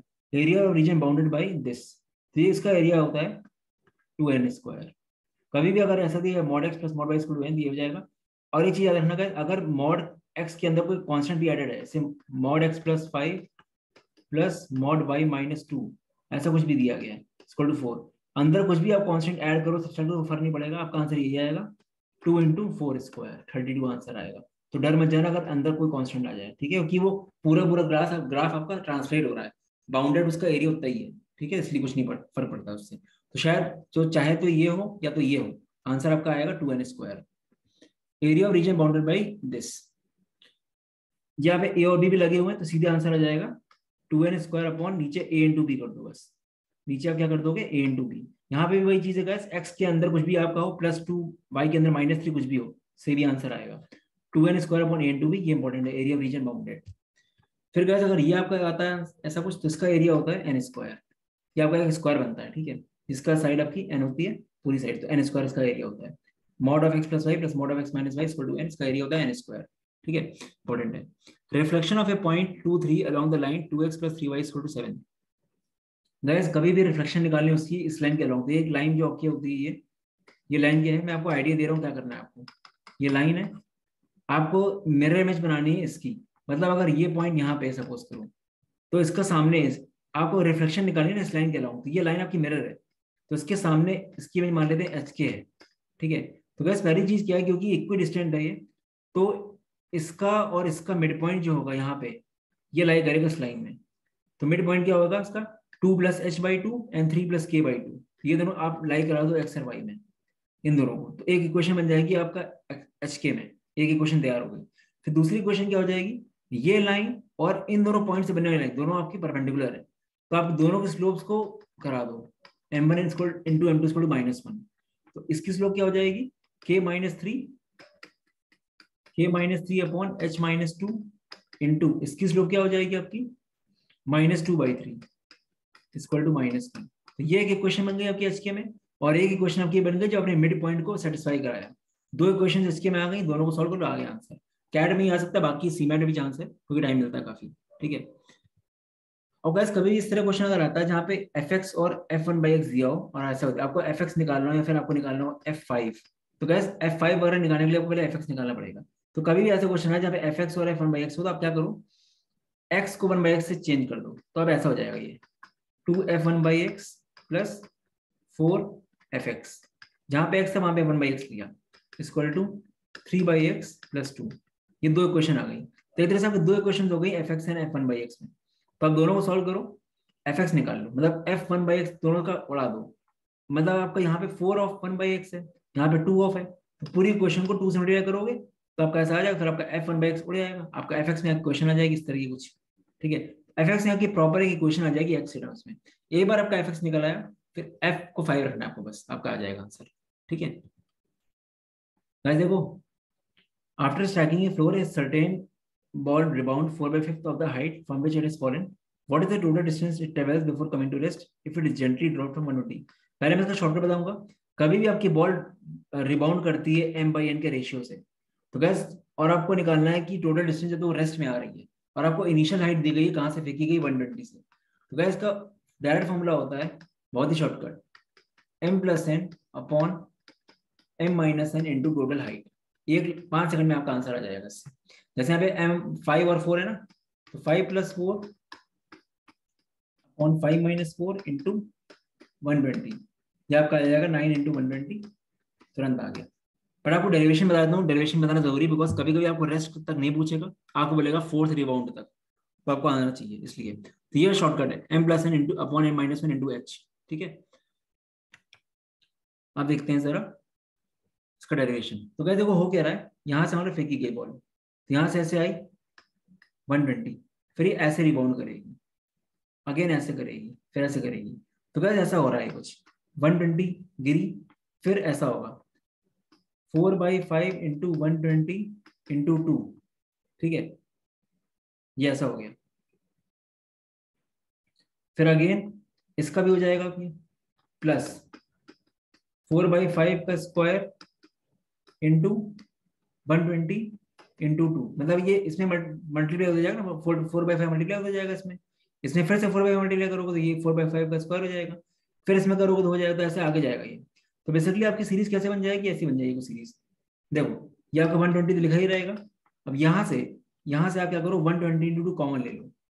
ये टू फोर्टी कॉमन आ गया। और आपका क्या बचा? Four by five plus four by five का स्क्वायर से लेकर इन्फिनिटी तक। तो बेसिकली आपको क्या बचा? One twenty plus two forty into ये इन्फिनाइट सीरीज़ है जीपी की क्या होता है? A upon one minus R होता है। तो ये फोर हो गया ना। तो ये क्या हो जाएगा? One twenty plus two forty into four by five upon one by five four आया। ये टू फोर्टी इंटू फोर कितना? नाइन सिक्सटी और nine sixty plus one twenty कितना हो गया? वन ज़ीरो एट ज़ीरो तो वन ज़ीरो एट ज़ीरो आपका answer आया। और वहाँ पे भी आपका तुरंत आंसर आ रहा था वन ज़ीरो एट ज़ीरो जब आप M plus N upon M minus one कर रहे थे। वन वन ट्वेंटी नाइन भी आपका वन ज़ीरो एट ज़ीरो आता। तो ये सब करने की ज़रूरत नहीं है, ठीक है? ये चीज़ है। समझ आएगा तो ये चीज़ है। और गैस एक चीज़ अगर थर्ड या फोर्थ टाइम बोला गया तो आपको फोर्थ तक सीरीज़ लेके जाना बस अपनी, ठीक है? फोर्थ बाउंड तक तो फोर्थ तक सीरीज़ लेके जाना। बट कभी कभी इलेवेंथ या ट्वेल्थ बोले कि इलेवेंथ तो इलेवंथ वगैरह के लिए आप इन्फिनाइटी मान लेना क्योंकि इलेवन ट्वेल्थ बहुत लंबा होता है। एक बार कैट या किसी में क्वेश्चन आ चुका है जहाँ पे इलेवंथ या ट्वेल्थ बोला गया था तो उसको सॉल्व इसी तरह किया गया था इन्फाइनाइट लेके, कि कमिंग टू रेस्ट क्योंकि इलेवन तक आते थे, बहुत धीमी हो जाएगी उसकी स्पीड तो आप शॉर्टकट लगा सकते हो, ठीक है? तो आपको ट्रिकी कर सकते हैं ये। और वैसे भी आप लगाओगे तो आपको क्लोज ऑप्शन दिख जाएँगे काफ़ी। ये इंपॉर्टेंट क्वेश्चन है। Two guns were fire from the same place at interval of 10 minutes and 30 seconds दो गन्स फायर की गई सेम प्लेस से at interval of 10 minutes and 30 seconds मतलब पहली गन की गई, उसके साढ़े दस मिनट बाद दूसरी की गई, ठीक है? But a person the train approaching the place hears the second shot ten minutes after the first वो क्या करता है? जो पर्सन वहाँ से आ रहा है उसको सुनाई दी सेकंड वाली शॉट दस मिनट बाद ही। साढ़े दस मिनट बाद हुआ है तो इसका क्या हुआ? साउंड ने कितना चला, उसने कितना चला? हमको ही देखना है। तो गैस पर्सन जितनी देर है पर्सन दस मिनट चला, उतनी देर में साउंड कितना चली? थर्टी सेकंड चल गई ये चीज़ है। तो जितनी देर है पर्सन कितना चला? बेसिकली यहाँ पे ये हुआ कि टेन मिनट्स में जितना वो चलेगा, ठीक है, उतना साउंड थर्टी सेकंड में चलेगी। साउंड की स्पीड क्या है? आपको डिस्टेंस बराबर करनी है। साउंड की speed three thirty into thirty seconds ठीक है? इक्वल टू परसेंट की स्पीड अगर वी मान लें इंटू परसेंट चला कितना? टेन मिनट्स बस ज़ीरो काट दो, ठीक है? तो ऐसा कुछ आपका आ जाएगा ये, ठीक है? तो बस ये आपको करना है। यहाँ पे आपका सेकंड्स में देखो तो आपको चेंज भी करना पड़ेगा, देखो, ठीक है? थ्री थर्टी मीटर पर सेकंड है और यहाँ पे हमने क्या लिया है? हमने टाइम मिनट्स ले रखा है ना इसको। तो मिनट्स हमको चेंज करना पड़ेगा तो आप अपने अकॉर्डिंग चेंज कर लेना इसको, ठीक है? बेसिकली सबको सेकंड्स में ही कर लो, कोई इशू वाली बात नहीं इसमें, ठीक है? या फिर सबको मिनट में कर लो। ठीक है। वैसे ये मीटर पर सेकंड में तो आपको उसको सबको सेकंड्स में करो ज़्यादा बेटर रहेगा आपके लिए। ठीक है। तो आप क्या कर सकते हो, आप यहाँ पे जो टेन मल्टीप्लाई कर रहे हो इंटू इसको कर दो इंटू सिक्सटी। ठीक है। ऐसे कर दो उसको। तो कट गया। एक ज़ीरो और काट दो। थ्री टू जा। बस आ जाएगा आपका। तो बेसिकली आपको करना क्या है? मेन चीज़ कैलकुलेशन नहीं मेन चीज़ है दोनों की डिस्टेंस बराबर करनी है। मैं फिर से बता रहा हूँ एक बार। गैस देखो, दो गन्स फायर की गई हैं। At interval of ten minute thirty seconds a person in a train approaching the place hear second shot उसको सेकंड शॉट सुनाई दिया दस मिनट बाद। हुआ था साढ़े दस मिनट बाद। तो तीस सेकंड क्या हुआ? तो तीस सेकंड में साउंड उसके पास आ गई और उतनी देर में वो दस मिनट आगे आ गया। तो जितनी देर में वो दस मिनट चला, उतनी देर में तीस सेकंड साउंड आगे आ गई। दोनों की डिस्टेंस बराबर थी, ठीक है? एक जगह आ रहे हैं वो लोग, इसलिए, ठीक है? तो आपको बस क्या करना है, दोनों की डिस्टेंस और ये बहुत ही सेकंड से क्वेश्चन होता है और काफ़ी ज़्यादा रिपीट हुआ है। आज तक मैं मानता हूँ कोई ऐसा एग्ज़ाम नहीं है, चाहे बैंकिंग एसएससी से लेकर एमबीए का, जहाँ ये क्वेश्चन ना आया हो, ठीक है? मैंने काफ़ी लोग नहीं कर पाते हैं प्रॉफिट एंड लॉस का कंसेप्ट अगर देखें तो क्या कुछ फॉर्मुलेज हैं। एसपीसीबी में SP equal to CP into one plus profit percent SP equal to CP into one minus loss percent ये तो इंपॉर्टेंट नहीं है। फिर मार्कअप क्या होता है? काफ़ी लोग मार्कअप नहीं समझते हैं। मार्कअप बेसिकली क्या होता है? मार्कअप बेसिकली होता है कि आपने अपने कॉस्ट प्राइस से कितना परसेंट बढ़ाया सेल करने के लिए। मतलब एमआरपी सेट करते हो ना, जैसे आप हंड्रेड रुपीज़ का टॉय लेके आए होलसेल मार्केट से, आप कहते हो उसको यार हम फोर्टी परसेंट ज़्यादा ही बेचेंगे। मतलब आप इसका प्राइस रखोगे वन फोर्टी तो फोर्टी परसेंट जो ज़्यादा कर रहे हो ना मतलब कॉस्ट प्राइस एमआरपी आपकी मार्क प्राइस कॉस्ट प्राइस से कितना ज़्यादा है, कितना परसेंट ज़्यादा है, उसको बोलते हैं मार्कअप परसेंट तो काफ़ी लोग का नहीं पता होता है ये चीज़, ठीक है? फिर आपका अगर बात करें एसपी और एमपी में तो selling price equal to the marked price into one minus discount percent और एक मार्जिन परसेंट होता है। काफ़ी लोग मार्जिन परसेंट नहीं समझते हैं। कैस प्रॉफिट परसेंट होता है आपका SP minus CP upon CP profit percent is profit on CP but margin percent is margin profit on SP तो मार्जिन परसेंट पूछेगा गैस तो आप प्रॉफिट परसेंट निकाल के बता जाना। वहाँ पे आपका हो जाएगा SP minus CP upon SP ना कि सीपी ये डिफरेंस होता है मार्जिन परसेंट में। ठीक है? ये एक्सट्रीमली इंपॉर्टेंट है। उसमें ज़्यादा कुछ नहीं ये सब चीज़ें हैं। ठीक है? Guys, ये इंपॉर्टेंट concept है. Two bodies start from the opposite ends P and Q at the same time and move towards each other with speeds S1 and S2. ठीक है? दो बॉडीज हैं यहाँ से पी and क्यू ठीक है? एट एक ही टाइम पे स्टार्ट हो रही है, ठीक है? आफ्टर मीटिंग ये लोगों ने कहीं मीट किया तो वो हो क्या रहा है, दो बॉडी चली एक टाइम पे, ये लोग कहीं मीट करे एम पे, ठीक है? They take times T one and T two to reach their destination P को लगा एम से क्यू जाने में टी वन टाइम और क्यू को लगा एम से लेकर पी तक जाने में टी टू टाइम ठीक? ऐसा कुछ अगर होता है गैस कभी तो आपके रिलेशन आते हैं यहाँ पे दो। पहला होता है S one upon S two equal to होता है under T two upon T one ये सेम कंसेप्ट पे लास्ट ईयर कैट में क्वेश्चन आया हुआ था। S one upon S two equal to under T two by T one ये आपका होता है एक टाइम और एक रिलेशन आपका होता है जो टोटल टाइम लगता है लोगों को मीट करने में। Time taken by them to meet at M ये आपका होता है टी स्क्वल टू होता है under root of T one into T two दो रिलेशन याद रखो। तो आपको ये वैरायटी याद रखनी पहले कि दो बॉडीज चल रही टाइम पे, वो कहीं मिली। मिलने के बाद इसने अपना टी वन टाइम बाकी डिस्टेंस कवर की। उसने अपना टी टू में किया। ऐसा कुछ हो रहा है अगर तो S one by S two root T two by T one होता है। और आपका जो मीटिंग टाइम था, जब ये लोग एम में आई, कितना टाइम में मीट करा? वो हुआ T square under root of T one into T two ठीक है? गाइस ये सब कंसेप्ट आपके नॉन कैट में भी बहुत ज़्यादा एक्सट्रीमली इंपॉर्टेंट है। कैट में तो है ही है। कभी भी आपको नंबर ऑफ़ डिजिट्स निकालनी हो गैस तो क्या करो? लॉग ऑफ़ एन ठीक है? Greatest integer function plus one क्या पूरे कर ले लो? मतलब लॉग ऑफ़ इतना करो log of two to sixty जो भी आपका आंसर आ रहा है, उसको आप ग्रेटेस्ट इंटीजर फ़ंक्शन ले लो उसमें वन ऐड कर दो आप। तो आपका आ जाएगा नंबर ऑफ़ डिजिट्स ठीक है? इन टू टू सिक्सटी आ जाएँगी, ठीक है? Number of zeros after decimal point but before first significant digit मतलब ऐसा zero point zero zero zero four तो डेसिमल के बाद बट फ़र्स्ट सिग्निफिकेंट डिजिट इसके पहले कितने जीरोस हैं? चार जीरोस हैं। तो ऐसे क्वेश्चन के लिए क्या करना है आपको? बस का आपको लॉग लेना है गैस आपको कुछ नहीं करना बुक में बहुत कैलकुलेशन दिया रहता है। मैं आपको शॉर्टकट बता रहा हूँ। इसका आपको लॉग लेना है, आपको लॉग इसका निगेटिव में मिलेगा बिकॉज़ ये आपका थ्री बाई फोर है, आपका ज़ीरो छोटा है, ठीक है? तो आपका निगेटिव में आएगा, जो भी आपका आ रहा हो, जैसे minus sixty two point four five आ रहा हो, कुछ भी आ रहा हो, ये जो पार्ट होगा, ये पार्ट ये आपका आंसर होगा बस, ये समझ लो, कुछ भी आएगा। आपको सॉल्व करो पूरा, आपका जो भी एंड में आंसर आता है minus one twenty four point three four जो भी आता है, बस ये पार्ट जो होगा ना, यही आपका आंसर होगा। बुक में बहुत ज़्यादा कैलकुलेशन कर देते हैं, पहले उसको पॉजिटिव में लाओ, फिर माइनस करो सब नहीं करना आप सीधे करो, आपका ये आंसर आएगा, ठीक है? नंबर्स अब ये इंपॉर्टेंट चीज़ है आर स्ट्रॉन्ग नंबर्स क्या होते हैं? कभी भी अगर ऐसा दिया गया कि आपका ए बी सी एक थ्री डिजिट नंबर है एंड ये सेटिस्फाई करता है A cube plus B cube plus C cube ऐसे।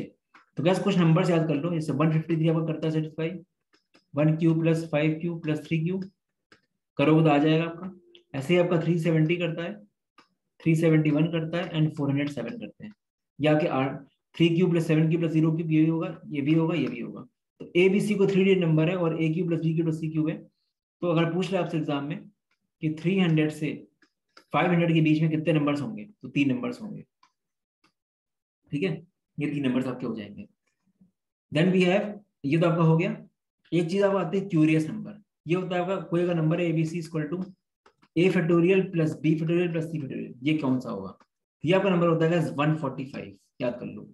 145 जैसे पूछेगा A B C three number such that A B C equal to A this plus this plus this find the value of A plus B plus C तो आपको अगर पता है कि ये जो नंबर ए बी सी है, ये आपका वन वन फोर्टी फाइव है, जो सेटिस्फाई करता है इसको। आप अगर सॉल्व करो तो आ जाएगा आपका।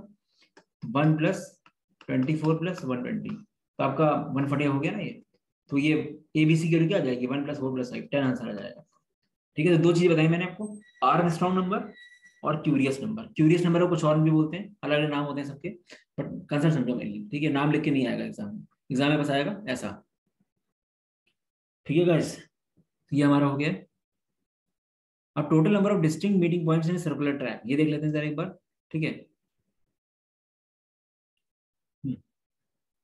बेसिकली देखो आपका total number distinct meeting points निकालने सर्कुलर ट्रैक में। मान लो दो बॉडीज हैं पी एंड क्यू एक की स्पीड अगर मान लो सिक्स मीटर पर सेकेंड है और एक की स्पीड आपकी फोर मीटर पर सेकेंड है।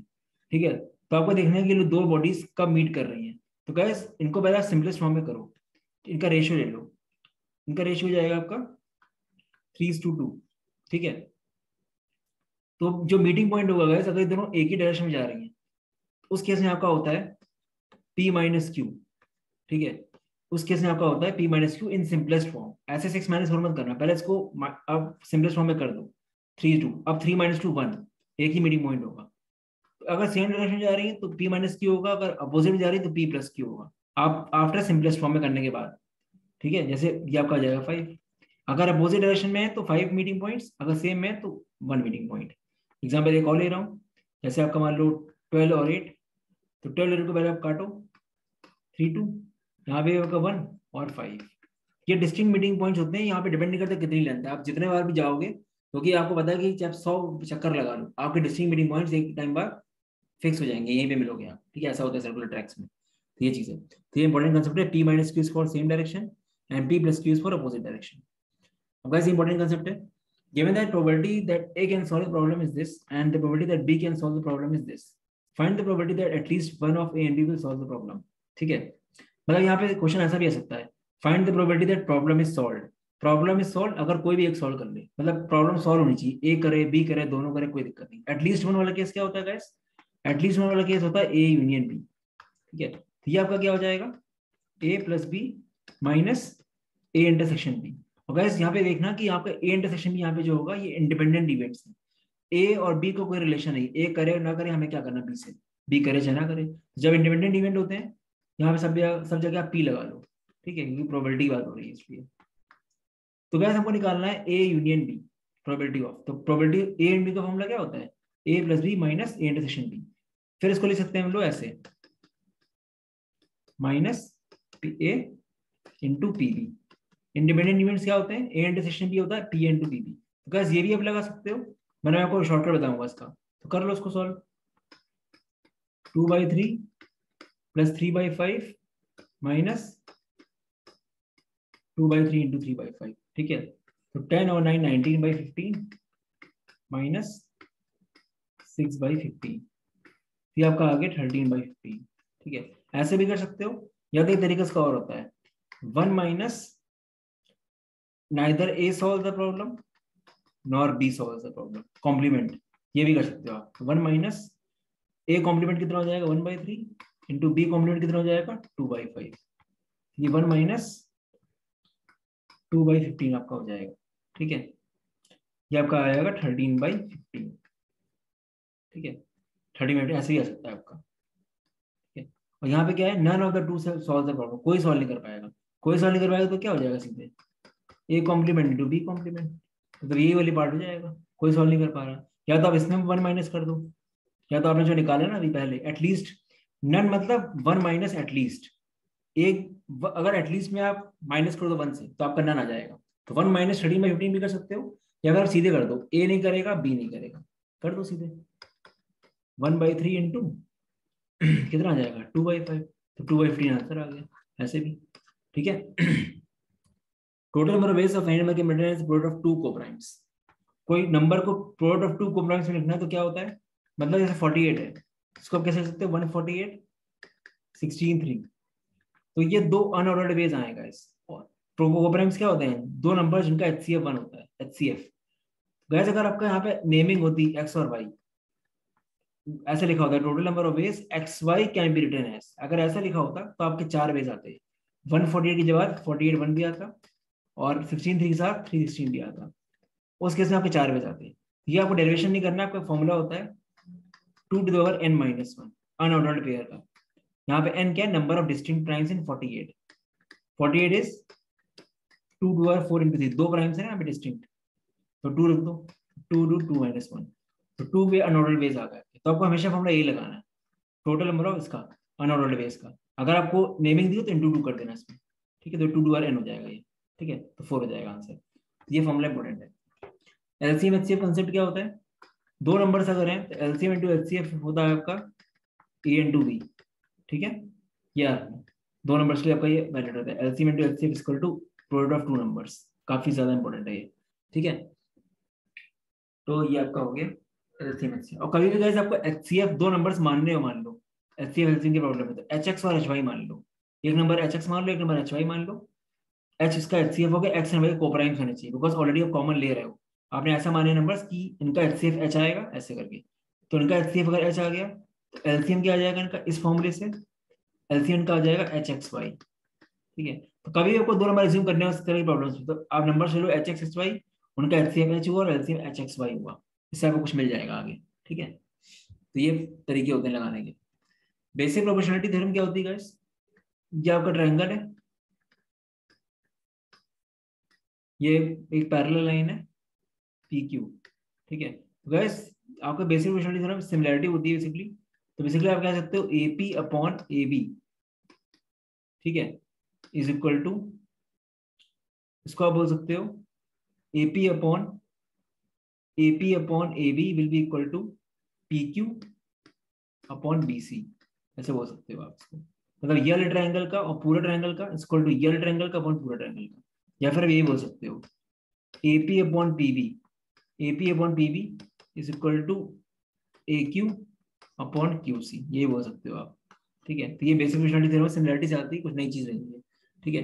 दो ट्रायंगल सिमिलर होते हैं आपके, क्योंकि यहाँ पे आपका एक एंगल थीटा है, मान लो ये एक्स है, ये वाई है तो ये भी आपका एक्स ये भी आपका वाई तो इस ट्रायंगल में भी, ये पूरे ट्रायंगल में थीटा एक्स वाई है, ये बड़े ट्रायंगल में भी आपका थीटा एक्स वाई है तो ए ए सिमिलरिटी हो गई actually remainder of polynomial concept कोई भी आपका अगर इक्वेशन है X square minus four X plus five बोला जाए इसका रिमाइंडर निकालो X minus two find the remainder when this is divided by X minus two क्या करेंगे? जो भी डिविजर होगा इस उसको आप ज़ीरो से इक्वेट कर दो। एक्स इक्वल टू टू यहाँ रख दो इस इक्वेशन में। तो आपका रिमाइंडर आ जाएगा। ठीक है? क्या करना है आपको? कोई भी डिविजर हो, उसको ज़ीरो से इक्वेट करोगे। ऊपर दोगे, कितनी बड़ी भी इक्वेशन ऐसा नहीं कि स्क्वायर ही हो। अगर आपका X to R four hundred plus three X to R five hundred ऐसा कुछ भी है अपॉन नीचे लीनियर होना चाहिए। नीचे लीनियर होना चाहिए, अगर ये करना है आपको खाली। ठीक है? लीनियर और क्वाड्रेटिक लेवल कुछ नहीं आएगा एग्ज़ाम में, और इसके अलावा वॉट हो जाएगा उनमें। मान लो ऐसा कुछ है। X square four hundred plus three X square fifty plus eighty two is divide by X minus one क्या रिमाइंडर आएगा? एक्स को वन रखो इनमें, पूरे में। तो one plus three plus eighty two eighty four answer आ जाएगा। ठीक है? बट मैं आपको नई चीज़ बताने वाला हूँ। ये तो ईजी है, नहीं आएगा एग्ज़ाम में, बट आपको नई चीज़ आएगी क्वाड्रेटिक वाली। गाइस कभी भी अगर ऐसा क्वेश्चन आ रहा है, जैसे हमारे क्वेश्चन आपकी है X cube minus three X four to R square sorry plus five X plus twelve upon X square minus one नीचे क्वालिटी मैक्सिमम आ सकती है। अगर नीचे क्वालिटी आ रही तो स्टेप समझो क्या करना है आपको। X minus one into X plus one हो गया ना? इक्वल टू ज़ीरो आपको इक्वेट करना है। एक्स आपका वन हो गया और एक्स आपका माइनस वन हो गया। अब एक चीज़ ध्यान रखो अगर आपका डिविजन क्वाड्रेटिक है तो आपका रिमाइंडर जो आएगा ना आपका लीनियर आएगा। रिमाइंडर को मान लेते हैं let it be A X plus B ये मान लेते हैं रिमाइंडर तो वो करना क्या है? पहले आप एक्स को वन रखो दोनों में, बड़ी इक्वेशन में और इसमें। तो ए और दोनों को इक्वेट कर दो। इसमें रखोगे एक्स को one A plus B equal to X को वन यहाँ रखो। तो one minus three plus five plus twelve seventeen eighteen eighteen minus three fifteen ये आपकी आ गई हमने एक्स को यहाँ रखा और एक्स को यहाँ रखा। फिर हमने एक्स को यहाँ रखेंगे माइन अब हम एक्स को माइनस वन रखेंगे यहाँ दोनों में। तो minus A plus B is equal to यहाँ रखो माइनस वन तो minus one minus three, minus four minus four और माइनस फोर और minus five, minus nine. Minus nine plus twelve is three plus calculation इन करना मैं समझाना है, ठीक है? बस इन दोनों को सॉल्व करोगे आप, आ गया आपका। Two B equal to eighteen B आपका नाइन आ गया। बी नाइन आ गया ए कितना आ गया? ए आपका आ गया माइनस सिक्स तो बस minus six X plus nine आपका रिमाइंडर आ गया। मैं फिर समझा रहा हूँ ये चीज़ क्या है। कोई भी अगर आपका रिमाइंडर निकालो, नीचे आपका, अगर लीनियर नीचे आपकी क्वालिटी दी गई है तो क्वालिटी को आप इक्वेट करो ज़ीरो से, आप निकाल लो एक्स की वैल्यूज़ दो वैल्यूज़ आएँगी ना। एक बार एक एक करके रखो वैल्यू एक्स को वन रखो पूरी बड़ी इक्वेशन में और रिमाइंडर आपने एज्यूम किया ए एक्स प्लस बी दोनों को इक्वेट कर दो। फिर एक्स को माइनस रखो बड़ी इक्वेशन में और इसमें इक्वेट कर दो। फिर आपकी दो लीनियर इक्वेशन मिलेंगे ए बी में। आपका बी आ गया बी आ गया नाइन और बी का नाइन आ गया तो ए कितना आ जाएगा? ए सॉरी आपका सिक्स ही आएगा। माइनस सिक्स नहीं आएगा सिक्स आएगा ए ठीक है? जब बी आपका नाइन आएगा तो ए सिक्स ही आएगा ना। तो क्या आंसर आ जाएगा? सिक्स एक्स प्लस नाइन आएगा। ठीक है? चलो लीनियर इक्वेशन कंडीशंस देख लेते हैं गैस तो लीनियर इक्वेशन की कंडीशंस क्या होती हैं? दो इक्वेशंस आपकी हैं A X one sorry A one X A one X plus B one Y plus C one equal to zero A two X plus B two Y plus C two equal to zero अगर guys आपकी infinite solution हैं तो आपकी A one upon A two equal to B one upon B two equal to C one upon C two हो जाएगी। ठीक है? या क्यों जाएगी? ऐसी ठीक है? तो ये आपका हो जाएगा इन्फाइनाइट इक्वेशन कंडीशंस का इन्फाइनाइट इक्वेशन का कंडीशन है ठीक है? जब आपकी सॉल्यूशन इन्फाइनाइट होगा सॉरी अगर आपके इस इक्वेशन का इन्फाइनाइट सॉल्यूशन है तो आपका ये कंडीशन आएगी। मतलब दोनों लाइन सेम ही होती है। जैसे आप x plus two Y equal to four करो, और आप दूसरे केस में उसी इक्वेशन को टू से मल्टीप्लाई कर दो तो आप देखोगे सब रेशियोज बराबर आ रहे होंगे। ठीक है? तो ये आपका हो जाता है। ठीक है? तो आपकी लीनियर इन्फाइनाइट सॉल्यूशन की कंडीशन हो गई है। ठीक है? अब हम अगर दूसरी बात करें, मान लेते हैं अगर हमारा ऐसा कुछ हो जाए कि A one upon A two equal to B one upon B two is not equal to C one upon C two तो क्या इसके सोल्यूशन आएँगे? वो हो गए नो सोल्यूशन क्योंकि अगर A one upon A two और B one upon B two है, ये आपका अलग अलग है तो ये कोई पॉसिबल नहीं होगा, ठीक है? तो उस केस में आपके नो सोल्यूशन आएँगे, वो आपकी पैरल लाइन हो जाएगी। A one upon A two square B one upon B two क्या हो जाएगी? पैरल लाइन हो जाएगी। ठीक है? क्योंकि दोनों लाइन अलग जा रही है अपना। क्योंकि दोनों कोफिशिएंट्स हैं बट कांस्टेंट अलग है। दोनों लाइन अलग है। कभी कभी इंटरसेक्ट नहीं करेंगी। तो उस केस में लाइन आपकी पैरल हो जाएगी। ठीक है? और अगर आपका A one upon A two is not equal to B one upon B two ये क्या हो जाएगी? ये आपकी यूनिक सोल्यूशन हो जाएगी इसकी। यूनिक सोल्यूशन तो ये इन्फाइनाइट सोल्यूशन ये नो सोल्यूशन और इसका यूनिक सोल्यूशन ठीक है? और जो कंसिस्टेंट इक्वेशन होती है टर्म आता है कंसिस्टेंट कंसिस्टेंट इक्वेशन में आपका एटलीस्ट वन सॉल्यूशन होता ही है. मिनिमम एक सॉल्यूशन होता है. वो तब बोलते हैं इक्वेशन कंसिस्टेंट ठीक है? इनकंसिस्टेंट में आपका कोई सॉल्यूशन नहीं होता है. ठीक है? Find the total number of ways in which five boys and three girls can be seated so that in a row row मान लो. No two girls are together guys जिस पे कंडीशन रिस्ट्रिक्शन होता है, उसको छोड़ के बाकी को अरेंज करो. फाइव बॉयज़ कैसे अरेंज हो जाएँगे? सिक्स फैक्टोरियल वेज में. इनटू अब फाइव बॉयज़ आपके सॉरी फाइव बॉयज़ आपके अरेंज हो जाएँगे फाइव फैक्टोरियल वेज में, ठीक है? और ये जगह कितनी बनाएँगे? स्पेस कितनी बनाएँगे? सिक्स बनाएँगे। सिक्स स्पेस बनाएँगे आपस में, ठीक है? तो सिक्स में से कोई थ्री बेस पकड़ लो और वहाँ पे गर्ल्स को अरेंज कर लो। तो five factorial into six P three ठीक है? ऐसा होता है ये। तो ये क्वेश्चन ऐसे ही होते हैं, जब भी कंडीशन में, किसी में कंडीशन लगी गर्ल्स में कंडीशन लगी, दो गर्ल्स साथ में नहीं बैठ सकती। गर्ल्स को छोड़ो बॉयज़ अरेंज करो। पाँच बॉयज़ लीनियर अरेंजमेंट कैसे बन जाएँगे? कैसे अरेंज होंगे? फाइव फैक्टोरियल अरेंज कर। दो पाँच बॉयज़ कितनी जगह बना रहे होंगे? छह प्लेस बना रहे होंगे। कैसे ऐसा हो रहा है अगर आपका दो बॉयज़ होते हैं तो कितनी जगह बनाते हैं? वन टू थ्री तो दो लोग तीन प्लेसेस लीनियर में ऐसे ही होता है ज़्यादा। तो फाइव बॉयज़ छह प्लेसेस तो छह में से कोई भी तीन जगह ले लो यहाँ गर्ल्स बैठ सकती हैं। तो सिक्स में से सिक्स थ्री सिक्स में से तीन गर्ल्स सेलेक्ट करो, तीन सीट सेलेक्ट करो, फिर गर्ल्स को अरेंज भी करना है। तभी हमने सिक्स पी थ्री किया है। सिक्स सी थ्री नहीं किया है। ठीक है? तो फाइव टोटल आएगा total number of zeros at the end of this अब काफ़ी लोग यहाँ पे गड़बड़ कर देते हैं। जैसे अगर कभी ऐसा है, ten plus hundred plus thousand, मान लो ये होता। तो नंबर ऑफ़ ज़ीरो कितने आते हैं बताओ? स्क्वायर करो, ग्यारह सौ दस। एक ज़ीरो आता ना। तो गैस जब भी एडिशन में हो ना, सबसे छोटा नंबर होता है, वो आपका नंबर ऑफ़ ज़ीरो डिसाइड करता है। बड़े नंबर से मतलब नहीं होता। टेन फैक्टोरियल में कितने जीरोस होंगे? टू होंगे। इसमें कितने होंगे? इसमें आपके ज़्यादा होंगे जीरोस ज़्यादा होंगे बट कोई मतलब नहीं है। तो आपके यही डिसाइडर होता है एडिशन में। एडिशन में हमेशा ये डिसाइडर होता है।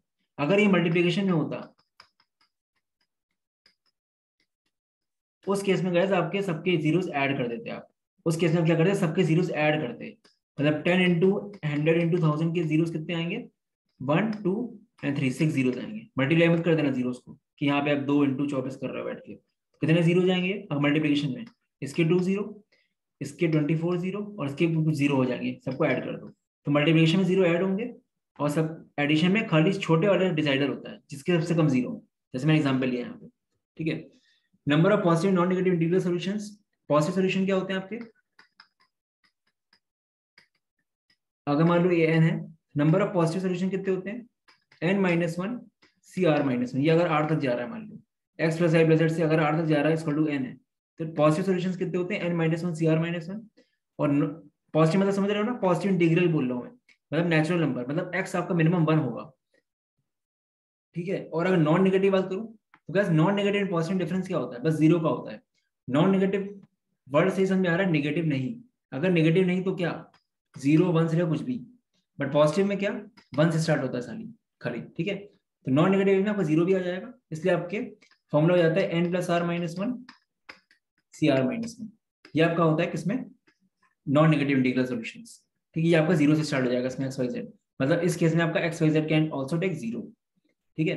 बट यार केस में खाली वन से ही स्टार्ट होगा minimum area of polygon guys अगर कोई हमारे आपको एरिया निकालना है, मान लो कोई आपकी कोऑर्डिनेट्स हैं x one y one x two y two x three y three तो गैस इसको आप ऐसे लिखा करो.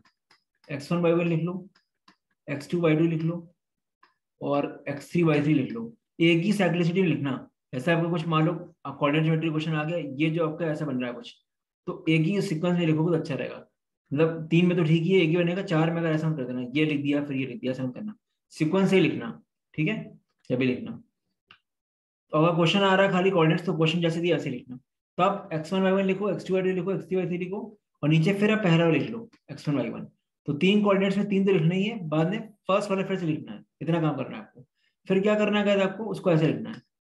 इसको ऐसे ले जाओ एरो बनाओ, एक तरफ़। एक्स तो one by two x one y two plus x two y three plus x three y one ये ब्रैकेट कर लो माइनस अब ऐसे एरो बनाओ। X two y one plus by two x three plus by three x one ये one by two पूरे के बाहर है, पूरे के। ये मतलब ऐसे एरो वाला गया माइनस ज़्यादा एरो वाला। और अंदर मॉड लगा बिकॉज़ एरिया कभी निगेटिव नहीं कर सकता। ठीक है तो मॉड लगा अंदर। तो क्या करना है आपको? जो कोऑर्डिनेट्स आपको दिए हों उनको आप लिख लो। वन टू थ्री फिर फ़र्स्ट वाला फिर से लिख लो एक बार आप। फिर आप एरो बनाओ। X one into y two plus x two into y three plus x three into y one minus y one into x two y two into x three and y three x one ये one by two into something ठीक है? ये आपका हो जाएगा। Semi circle important concept guys देखो ये क्या है? ये आ, मैं आपको एग्जांपल देता हूँ। ऐसा कुछ है। ठीक है? ये आपका अंदर सर्किल है मान लो। इसका रेडियस अगर मान लो ए है। ठीक है? तो गैस ये ऐसे ये टच कर रहा है, ठीक है? सर्कल टच कर रहा है ए तो गैस आपको अगर बड़े सर्कल का एरिया निकालना है एक टर्म्स में, ये गैस पूरा टच कर रहा है सर्कल को, ठीक है? तो ऐसे करो उसको आप। जो बड़ा सर्कल है, इसका मान लो, इसका रेडियस अगर आर होगा तो ऐसा हो जाएगा ना ये? ये यहाँ से लेकर पूरा आर होगा ये, ठीक है? तो क्या हो जाएगा? इतनी डिस्टेंस ओपी डिस्टेंस क्या हो जाएगी ए के में? अगर ये भी ए है, ये भी तो a root two OP distance a root two हो गई और ऊपर ए हो गई। तो a root two plus a ये किसके बराबर हो जाएगा? आर के। बड़े वाले क्वाड्रेंट है जो। क्वाड्रेंट का रेडियस आर है ना? तो क्वाड्रेंट आर है रेडियस का तो ये आर किसके बराबर हो रहा है? A root two plus a के। ठीक है? ऐसे आपको बहुत कुछ क्वेश्चन मिलेंगे, जहाँ पे ऐसा कुछ सर्किल होगा, ऐसा। तो क्या आपको ध्यान रखना है कि आपको ये डिस्टेंस कैसे निकालनी है? ये डिस्टेंस आएगी इस वाले सर्किल का रेडियस से। क्योंकि छोटा जो सर्किल है, इसका अगर रेडियस आर है, यहाँ पे आर है। तो ये आर रूट टू हो जाता है। एक बार ये आर रूट टू आ गया, फिर आप ऐड कर दो उसमें। ठीक है? तो ये चीज़ होती है बस। तो गैस ये जो बड़ा क्वाड्रेंट था, इसका रेडियस आर था, या कैसे आ गया इसके टर्म्स में? आर स्क्वायर टू आ गया a root two plus a ठीक है? और यू कैन से आपको अगर अंदर वाले को, बड़े वाले क्वाड्रेंट आर के टर्म्स में करना है तो आप ये भी कर सकते हो। ए स्क्वायर टू हो जाएगा r upon root two plus one काफ़ी लोग समझ नहीं पाते इसलिए। ठीक है? तो बस आपको पी से ओ की डिस्टेंस निकालनी है ए टर्म्स में फिर आपको ओ से पीछे बताइए, ए ये पूरा आपको पता है आर होगा बिकॉज़ क्वाड्रेंट का रेडियस आर है तो हर जगह से आर होगा तो ठीक है A cask is full of wine. Eight liters wine is drawn. Eight liters of wine is drawn and replaced water. This procedure is repeated further three times. कभी भी रिप्लेसमेंट कंसेंट्रेट तो क्या करते हैं final concentration is to initial concentration one minus replaced quantity upon total volume to power n guys ये याद रखा करो आपको किसके लिए करना है? जो चीज़ बाहर से आ रही है, उसका अपोजिट डायरेक्टली करना है। याद रखो, जैसे बाहर से क्या आ रहा है? रिप्लेस्ड विद वाटर बाहर से पानी आ रहा है ना तो आप फाइनली काम करो बस। ये याद रखो, कभी गलत नहीं होगा क्वेश्चन बाहर से पानी आ रहा है ना, आप सब कुछ बाइंडली करो। तो फाइनल वाइन और इनिशियल वाइन इनिशियल वाइन हम मान लेते हैं can is cask is full of wine x मान लो इनिशियल वाइन है, ठीक है? अगर इनिशियल वाइन अगर एक्स है अब वाइन कितनी हो जाएगी? बिकॉज़ आपको पता है रिप्लेसमेंट कंसेप्ट में टोटल वैल्यू हमेशा सेम रहता है। क्योंकि आप कोई चीज़ डाल के, कोई चीज़ निकाल के डाल रहे हो तो आपका टोटल वॉल्यूम जो होता है ना गैस चाहे जितने बार भी रिप्लेसमेंट कर दो, आपका अगर शुरू में सौ लीटर था तो बाद में भी सौ लीटर होगा। कितना क्या होगा ये नहीं पता। क्या पता वाइन पहले पचास थी वाइन आपकी तीस हो गई, वो हो सकता है आपका। बट टोटल क्वांटिटी आपकी सेम रहेगी। ये इसका कंसेप्ट होता है। तो कास्ट में आपके नंबर ऑफ़ कितना लीटर है? एक्स लीटर है। तो इनिशियली वाइन एक्स है, और फाइनल वाइन कितनी हो जाएगी? बोला गया है कि चार बार रिपीट करने के बाद फॉर एनदर रेशियो हमारा ये आ गया। मतलब wine is to water ratio ये आ गया। तो मतलब वाइन इज़ टू टोटल कितना रेशियो हो गया? ये हो गया हमारा फाइनल वाइन तो गैस मेरा फाइनल वाइन जो है equal to initial wine into one minus eight litres replace किया गया। एट अपॉन ठीक है? आपको निकालना क्या है? वॉल्यूम निकालना है आपको? हम्म। Two over four x s cut गया आपका। ये फोर टाइम्स है तो इसका रेशियो आ जाएगा आपका। Two by three equal to one minus eight by b तो eight by b equal to one by three b equal to twenty four ठीक है ट्वेंटी फोर लीटर्स आपका आ गया। तो ट्वेंटी फोर आपका टोटल वॉल्यूम आ गया। तो कैसे ये कंसेप्ट है पढ़ लेना है तो अच्छा कंसेप्ट है। टाइम एंड वर्क के कंसेप्ट की अगर बात करें तो टाइम एंड वर्क में ऐसा कुछ नहीं बट हाँ मैन डेज़ देख लो। Man into days into hours by work ये कॉन्स्टेंट रहता है। मतलब M one D one H one W one equal to M two into D two into H two upon W two कैसे आपको अगर और अच्छा करना तो इवन भी लिख लो. ई वन और ई टू कभी कभी आप कंफ्यूज जाते हो अगर एफिशिएंसी दे दी जाती है. तो गैस कभी कभी ऐसा दिया जाता है कि Rita is twenty five percent more efficient than Sita ठीक है? तो इस केस में आप डरा मत करो. आप यहाँ से आप कर सकते हो आराम से इसको. ठीक है? डेज़ और एफिशिएंसी में रिलेशन निकाल के ऐसे रीता रीता कोई काम फोर डेज़ में कर रही है बट दिया गया Rita is twenty five percent more efficient than Sita तो आपको निकालना है सीता के डेज़ कितने होंगे? कभी कभी क्वेश्चन का पार्ट होता है ये। तो ऐसा आप डायरेक्टली नहीं कर पाते हो। तो ऐसे केस में क्या किया करो? जल्दी से आप ई वन डी वन इसको to E two D two लगा लो। और इसके डेज़ दिए गए और बोला गया ये ट्वेंटी परसेंट ज़्यादा एफिशिएंट है इससे। इसकी एफिशिएंसी अगर मान लो तो इसकी हो जाएगी one point two five x तो आपके इसके डेज़ तुरंत निकल आएँगे इसके कितने डेज़ हैं। ठीक है? तो कभी कभी लोग ऐसा बिना फॉर्मुला के नहीं समझ पाते हैं कन्फ्यूज़ जाते हैं। तो कभी एफिशिएंसी अगर आ जाए तो आप ये लगा सकते हो डेज़ एक्चुअल निकालने में। बिकॉज़ ये कभी कभी पार्ट होता है किसी क्वेश्चन का। कि आपको एंड में निकालना है, दोनों काम कितनी देर में करती है पूरा। बट आपको एफिशिएंसी की टर्म्स आप नहीं समझ पा रहे हो। तो ये आप बड़ा फॉर्मुला याद रखो। आप किसी दो तीन को भी कॉम्बिनेशन कॉम्बिनेशन ले लो, तभी आपका आंसर आ जाएगा। ठीक है? कभी हमेशा सब कुछ यूज़ नहीं होगा, कभी खाली मैन डेज़ यूज़ होगा, कभी आपका एफिशिएंसी और डेज़ यूज़ होगा, कभी आपका डेज़ और वर्क यूज़ होगा, कुछ भी हो सकता है। M one D one H one into E one by W one ये आपका बहुत बड़ा फॉर्मुला मतलब है। सब कुछ यूज़ कर सकते हो। ठीक है? आपको ये तो पता ही होगा, जो चीज़ मल्टीप्लाई में होती है, वो इनवर्स होती है। और जो चीज़ फ्रैक्शन में होती है, वो आपकी डायरेक्ट होती है। ये होगा आपको ठीक है? ज़्यादा मैन होंगे, ज़्यादा वर्क होगा तो डायरेक्टली प्रोपोर्शनल है, ठीक है? ज़्यादा एफिशिएंसी है तो ज़्यादा वर्क करोगे आप डायरेक्टली प्रोपोर्शनल है, ये चीज़ है, ठीक है? ज़्यादा मैन है तो कम डेज़ लगेंगे तो इन्वर्सली प्रोपोर्शनल है ठीक है? वो डायरेक्टली प्रोपोर्शनल है मैं यूनिवर्सली बोल रहा था क्या?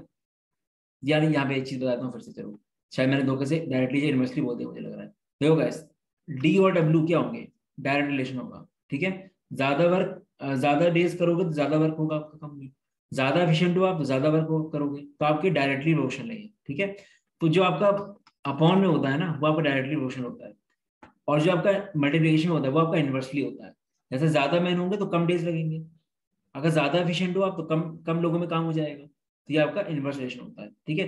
तो मल्टीप्लिकेशन में इन्वर्स एंड अपॉन में डायरेक्ट शायद मैंने पहले उल्टा बोल दिया धोखे से, ठीक है? कभी कभी आता है, चलो। यहाँ पे क्या है nominee ways can eight identical pens be distributed among Amal Bimal and Kamal gets at least one pen, Bimal gets at least two pen, and Kamal gets at least three. तो guys यहाँ पे ऐसा है अमल बिमल कमल को आप A B and सी मान लो a को मिलेंगे at least one a is greater than equal to one Bimal को बोला गया एटलीस्ट टू एंड कमल को बोला गया एटलीस्ट थ्री तो गैस यहाँ पे ऐसा कंडीशन है और आपको पता है कि डिस्टिंक्ट आइडेंटिकल चीज़ों को डिस्टिंक्टली डिवाइड करना है। आप वाला फॉर्म लगा दोगे? पॉजिटिव या नॉन नेगेटिव बट कंडीशन देखनी पड़ेगी क्या है? पहले आप क्या करो? आप डिसाइड करो कि आपको लगाना कौन सा फॉर्मूला है। अगर आपको नॉ पॉजिटिव इंटीग्रल लगाना है तो आपको सबको मिनिमम वन वाला करना पड़ेगा। तो बी की मिनिमम वैल्यू क्या हो सकती है? टू तो बी को आप एक पहले दे दो। ठीक है? ठीक है? और सी की मिनिमम वैल्यू हो सकती है थ्री तो सी को आप दो पहले दे दो। इससे होगा क्या? जब बी को आप वन दोगे बाद में तो बी के पास टू मिनिमम आएँगे और सी थ्री मिनिमम आएँगे। इसको वेट कर दो। A plus c plus three इसको टू फाइव अब आप लगा दो फॉर्मूला पॉजिटिव इंटीग्रल सॉल्यूशंस का। Five minus one C three minus one four C two आ गया। सिक्स वेज हो गए आपके। ठीक है? ये आपका हो गया फॉर्मूला ठीक है? यहाँ पे आप पॉजिटिव इंटीग्रल सॉल्यूशन लगा सकते हो। क्योंकि आपने एक बी को एक दे दिया और बी मिनिमम एक मिनिमम दो ले सकता है। ठीक है? और सी आपका मिनिमम तीन ले सकता सी को आपने दो दे दिया। वहाँ पे आपका एट था। तो बचा गया। पाँच। तो five minus one C three minus one four C two four C two is four into three by two six ways ठीक है इसको आप नॉन नेगेटिव से भी कर सकते हो। नॉन नेगेटिव में आपको ए प्लस वन करना पड़ेगा बी प्लस टू करना पड़ेगा और सी प्लस थ्री करना पड़ेगा। तब भी कर सकते हो। उस केस में आपको ए बी सी आपके ज़ीरो भी हो सकते हैं इसलिए। तो आपको जो लगाना लगा लो दोनों से आंसर आ जाएगा। अब ये वही क्वेश्चन ये वाला क्वेश्चन भी अच्छा है। कभी भी ऐसे फ्रैक्शन सीरीज़ हो one by two into five plus one point five into eight ये ऐसे करके जा रही है कहाँ तक? ए हंड्रेड ए हंड्रेड क्या होगा? टू फाइव एट ऐसे ए पी जा रही है। तो हंड्रेड टर्म क्या होगा ए पी का? फ़र्स्ट टर्म निकालो खाली। टू फाइव एट है ना तो क्या हो जाएगा फ़र्स्ट टर्म बाकी तो आपके तीन तीन से बढ़ रहे हैं सर तो फ़र्स्ट टर्म क्या हो जाएगा इसका? Two plus n minus one nine minus ninety nine into d common difference three आपका। ये आपका हो गया टू नाइनटी नाइन तो two ninety nine one upon two ninety nine into sorry into three zero two या and यहाँ हो रहा है इसका। वैसे कभी भी ऐसी सीरीज़ हो तो आपको क्या करना है देखो। ये सीरीज़ ऐसी है। ये दो दो के पेयर है और तीन तीन का गैप है और एक एक टर्म रिपीट हो रहा है। तो one upon number of repeating terms कितने टर्म हो रहा है? एक टर्म रिपीट हो रहा है। Into difference of the terms three bracket one of one upon left most term one by two minus one upon right most term one upon three zero two ये आपका cat का question है, इसके पहले question भी cat का था twenty seventeen का। तो आपको ये सॉल्व करना है। ये टू और थ्री ज़ीरो टू है तो इंटू वन फिफ्टी वन कर दो, ऊपर नीचे, ताकि हम जल्दी सॉल्व कर लें इसको। तो one fifty one minus one आपका आ जाएगा one fifty. One by three into one fifty upon three zero two fifty आ गया टू से काट दो twenty five one one fifty one. ये आपका आंसर आ गया, ठीक है? तो ये अच्छा क्वेश्चन है। The points this and this are two end points of diagonal of rectangle एक रेक्टेंगल है आपका, उसमें आपके ए बी सी डी मान लो। ये आपके डायगोनल्स हैं। तो एंड पॉइंट्स मान लेते हैं टू फाइव और सिक्स थ्री ये भी आपका डायगोनल होगा। दोनों का मिड पॉइंट तो यही होगा बिकॉज़ इक्वल होते हैं डायगोनल्स हम बाइसेक्ट करते हैं। ठीक है? तो यहाँ पे एक चीज़ बताओ कि आपको क्या निकालना है? इफ़ द अदर डायगोनल दूसरा डायगोनल जो बी डी है, इसकी क्वेश्चन दी गई है ये। Y equal to three x plus c तो गैस आपका जो मिड पॉइंट होगा ये ओ ये मिड पॉइंट के कोऑर्डिनेट्स क्या हो जाएँगे? Two plus six by two x one plus x two by two होता है ना four and five plus three by two four अब ये मिड पॉइंट होगा इस लाइन में लाई करेगा ना वो। लाई करा दो four plus four equal to four equal to twelve plus c c आ गया माइनस एट तो माइनस एट आपका आंसर आ गया। कैट का क्वेश्चन है, बताओ कितना इजी क्वेश्चन है कैट का। गाइस ये क्वेश्चन देख लो। इसका हिंट दे दूँगा मैं। एफ़ एक्स और जी एक्स रख दो इसमें जरा। ये क्या हो जाएगा आपका? ये आपका हो जाएगा टू एक्स माइनस फाइव का mod plus seven minus two x का मॉड इक्वल टू इन दोनों को अगर ऐड करेंगे तो आपका जाएगा टू ही आ जाएगा। ये आपकी आ गई। आपको क्या करना है? आपको केस बनाना है इसमें। ठीक है ए बार आपका एक्स फाइव बाई टू से छोटा है। ए बार आपका एक्स फाइव बाई टू और सेवन बाई टू के बीच में लाई करेगा। और एक बार एक्स आपका सेवन बाई टू से बड़ा होगा। ठीक है, ऐसा। तो तीन केस बनेंगे इसमें आपके। ठीक है, तीन केस बना लो। एक्स को एक बार फाइव बाई टू छोटा कर दो। तब देखो क्या आ रहा है। एक बार आप इन दोनों के बीच में कर दो, फिर देखो, और एक बार इससे बड़ा कर दो। तीन केस बनाओ, फिर देखो क्या रेंज आ रही है। तो आपका आंसर इससे आ जाएगा इजी क्वेश्चन ठीक है? टफ नहीं है total number of ways of Maruti can be arranged such that A comes before R and R comes before W guys ये क्वेश्चन इंपॉर्टेंट है। कभी भी ऐसा क्वेश्चन दिया हो और जहाँ पे आपको अरेंजमेंट ऐसा फिक्स दिया हो कि ए आर एंड डब्ल्यू मतलब ऐसा कुछ दिया गया पहली ए आर एंड यू पहली बात तो गाइस इसको आप इमीडिएटली में समझ लेना कि A comes before immediately before ऐसा नहीं है। कहीं भी आ सकता है। क्या पता ऐसे हो जाए। ए एम टी आर ऐसा कुछ हो जाए। ठीक है? आई यू तो ए आर के पहले आ रहा है और आर यू के पहले आ रहा है बट बगल बगल में नहीं आ रहा है। तो ऐसे केस में क्या करते हैं हम लोग? हमको मतलब ए आर यू में एक प्रॉपर अरेंजमेंट दे दिया गया है। अगर आप ए आर यू को अरेंज करो तो थ्री फेडरल में अरेंज करोगे ना बट हमको एक ही अरेंजमेंट पता है कि हमको ये चाहिए हर बार। तो हम ऐसे क्वेश्चन क्या करते हैं? आप पूरा मारुति अरेंज कर लो पहले। कैसे अरेंज करोगे? One two three four one two three four five six six factorial ways में अरेंज हो गया। अपॉन डिवाइड क्या करेंगे थ्री फेडरल वेज से। क्यों कर रहे हैं? बिकॉज़ हमको ये हमारे छह वेज हैं। हमको एक ही वे चाहिए। इसलिए जो कंडीशन होती है ना गैस आपकी यहाँ पे, उस कंडीशन के फेडरल से डिवाइड कर दिया जाता है पूरे को। तो आपका आंसर क्या आ जाएगा? Six factorial upon three factorial इस केस में। बस याद रखो कि पूरा वर्ड को अरेंज कर लो और जो कंडीशन आपको दी गई है, उससे डिवाइड कर लो आप। ए आर यू का अरेंजमेंट दिया गया तो आप उसको, उससे थ्री फेडरल डिवाइड कर दो। ठीक है? अगर मान लो ए और आर होता खाली तो आप नीचे क्या करते हैं? टू फेडरल डिवाइड करते ठीक है? अगर मान लो A R U N T होता तो क्या करते चार फेडरल डिवाइड करते तो टोटल टर्म अपॉन उतना लॉगरिथम्स की कुछ प्रॉपर्टी देख लेते हैं मेन मेन पहली प्रॉपर्टी ये देख लेते हैं। लॉग ऑफ़ पी की पावर क्यू इंटू ए की पावर बी मतलब ए आपका नंबर है, इसकी पावर बी और पी बेस है बेस की पावर क्यू है। तो आपको पता है कि बी आगे आता है और ये बेस की पावर होती है, वो फ्रैक्शन में जाती है। तो आपका ऐसा हो जाएगा। D by Q log P A ऐसे हो जाएगा ये। बाकी log M plus log N आपका लॉग एम एन होता है, ठीक है? Log M minus log N आपका log M M by N होता है, इसे तो बताइए आपको, ठीक है? और ए लॉग ए बेस पे एन बेस और ये सेम है तो आपका आंसर आता है एन ये भी याद कर लो आप, ठीक है? एक चीज़ ये भी हो गई। फिर लॉग में क्या कर सकते हो? हाँ लॉग में ऐसे क्वेश्चन आ जाते हैं। जैसे लॉग आपका मान लो ऐसा है one by two two fifty six आपको ये निकालना है मान लो। तो कहते आप लोग ऐसे लगाते रहो, नहीं आएगा। तो ऐसे ये करो उसको एक्स मान लिया करो तो उसको ऐसे रेस कर दो। टू फिफ्टी सिक्स तो अब टू को भेजो। टू की और minus X equal to two fifty six ठीक है? ये आपका आ गया ऐसा। तो इक्वल टू हो गया ये टू की पावर एट है ना? टू की और सेवन होता है आपका हाँ। एक्स कितना आ गया? माइनस एट आ गया आपका ये ठीक है? तो ये आपका हो गया बेसिकली तो बेसिकली बहुत सारे क्वेश्चन इस तरह के होते हैं जो आ, आप लोग सोच पूरा सोचते रह जाओ कैसे करें कैसे करें हो नहीं पाते हैं क्वेश्चन ठीक है? तो बेस्ट ऑप्शन क्या रहता है? कि आप इसको पूरे को एक्स ले लो फिर आप भेज दो उधर। ठीक है? तो टू इनवर्स हो गया, फिर आपने मल्टीप्लाई कर दिया एक्स से तो टू टू आपने बराबर कर दिए तो यहाँ से आ गया। तो इस तरह का क्वेश्चन स्टाइप आ जाते हैं, ठीक है? टोटल अमाउंट डिस्टिंग टर्म्स हाँ ये देखो, कभी भी ऐसा क्वेश्चन है जहाँ पे A plus C plus C D ऐसे ऐसे टर्म्स दिए हो, ठीक है टू आर एन तो नंबर ऑफ़ डिस्टिंग टर्म्स जो होते हैं गैस वो आपके होते हैं। इसका formula same as number of non negative integral solutions तो ये आपका जो पावर है ऊपर, ये आपका एन है, और अंदर जो नंबर्स हैं, ये आपका आर है। N plus R minus one C R minus one ये लगेगा। कभी भी ऐसा दिया हो X plus Y plus Z plus W या A plus C plus C plus D to R W ऐसा दिया हो तो आपका ये हो जाएगा N plus R minus one C R minus one ठीक है? ये आपका हो जाएगा इस केस में, ठीक है?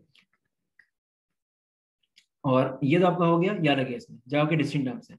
बट कभी आपका टर्म्स ऐसे हैं one plus X plus X square plus X cube से लेकर, मान लो ऐसा दिया है one plus X plus X square plus X cube की पावर फाइव तो गैस यहाँ पे टर्म्स होते हैं ना, यहाँ पे आपके टर्म्स होते हैं जो लास्ट पावर आपकी है three five into three plus one बस याद रखना है चीज़। आपका स्टार्टिंग ऐसी होनी चाहिए।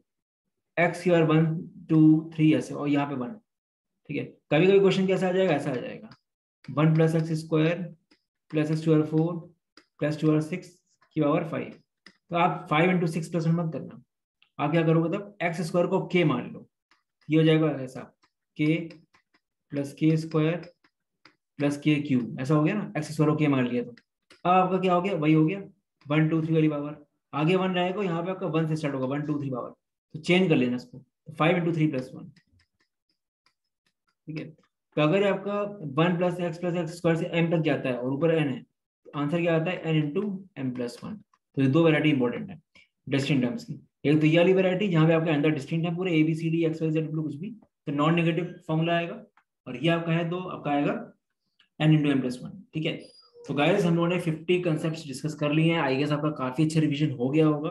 मैं फिर से आपसे बोल रहा हूँ एक बार आप सब्सक्राइब नहीं किया तो कर दो चैनल सब्सक्राइब आपका ही फ़ायदा है, बहुत सारे कंसेप्ट कराते हैं हम लोग, ठीक है? हर तरह की वीडियोस बनते हैं चैनल में और हम लोग ऑलमोस्ट सारे कोर्सेज एंड टेस्ट सीरीज़ सब प्रोवाइड करते हैं। आप लोग वेबसाइट जाकर देखना है पर मॉक्सोन डॉट इन बहुत अच्छे रिव्यूज़ हैं। जो लोग हम लोग का कोर्सेज देखना चाहते हैं NMAT SNAP TISSNET CMAT S R C C GBO सबके आप इस नंबर में मुझे पिंग कर सकते हो, नीचे नंबर दिया हुआ है। और इस वीडियो को ज़्यादा से ज़्यादा लोगों तक शेयर करो, ठीक है? ताकि काफ़ी लोग का एडवांटेज हो। और सिर्फ़ कैट लिए नहीं, ये वीडियो आपका सारे एग्ज़ाम में हेल्प करेगा। क्योंकि हमने, अब आप बताया था पहले कि पचास कंसेप्ट बोले थे हमने बट ये ज़्यादा ही हो गए बिकॉज़ एक एक स्लाइड में मैंने कई कई कंसेप्ट डिस्कस कर लिए हैं। तो साठ पैंसठ हो गए होंगे, ठीक है? तो फ़ायदा तभी होगा इस तरह की वीडियोज़ बनाने का, जब व्यूज़ और वो आएँगे तो ज़्यादा लोग की हेल्प होगी। क्योंकि शेयर करोगे तभी ऐसा हो पाएगा, ठीक है? और इसको नोट करो रिवाइज करो अच्छे से। आपको काफ़ी कंसर्ट मिल सकते हैं कैड में इससे, ठीक है? चलो guys this was all about the video बाकी तो नंबर मेरा दिया हुआ है मॉकजोन की वेबसाइट है। जाके चेक करना जो पहली बार देख रहे हैं। चलो guys all the best bye bye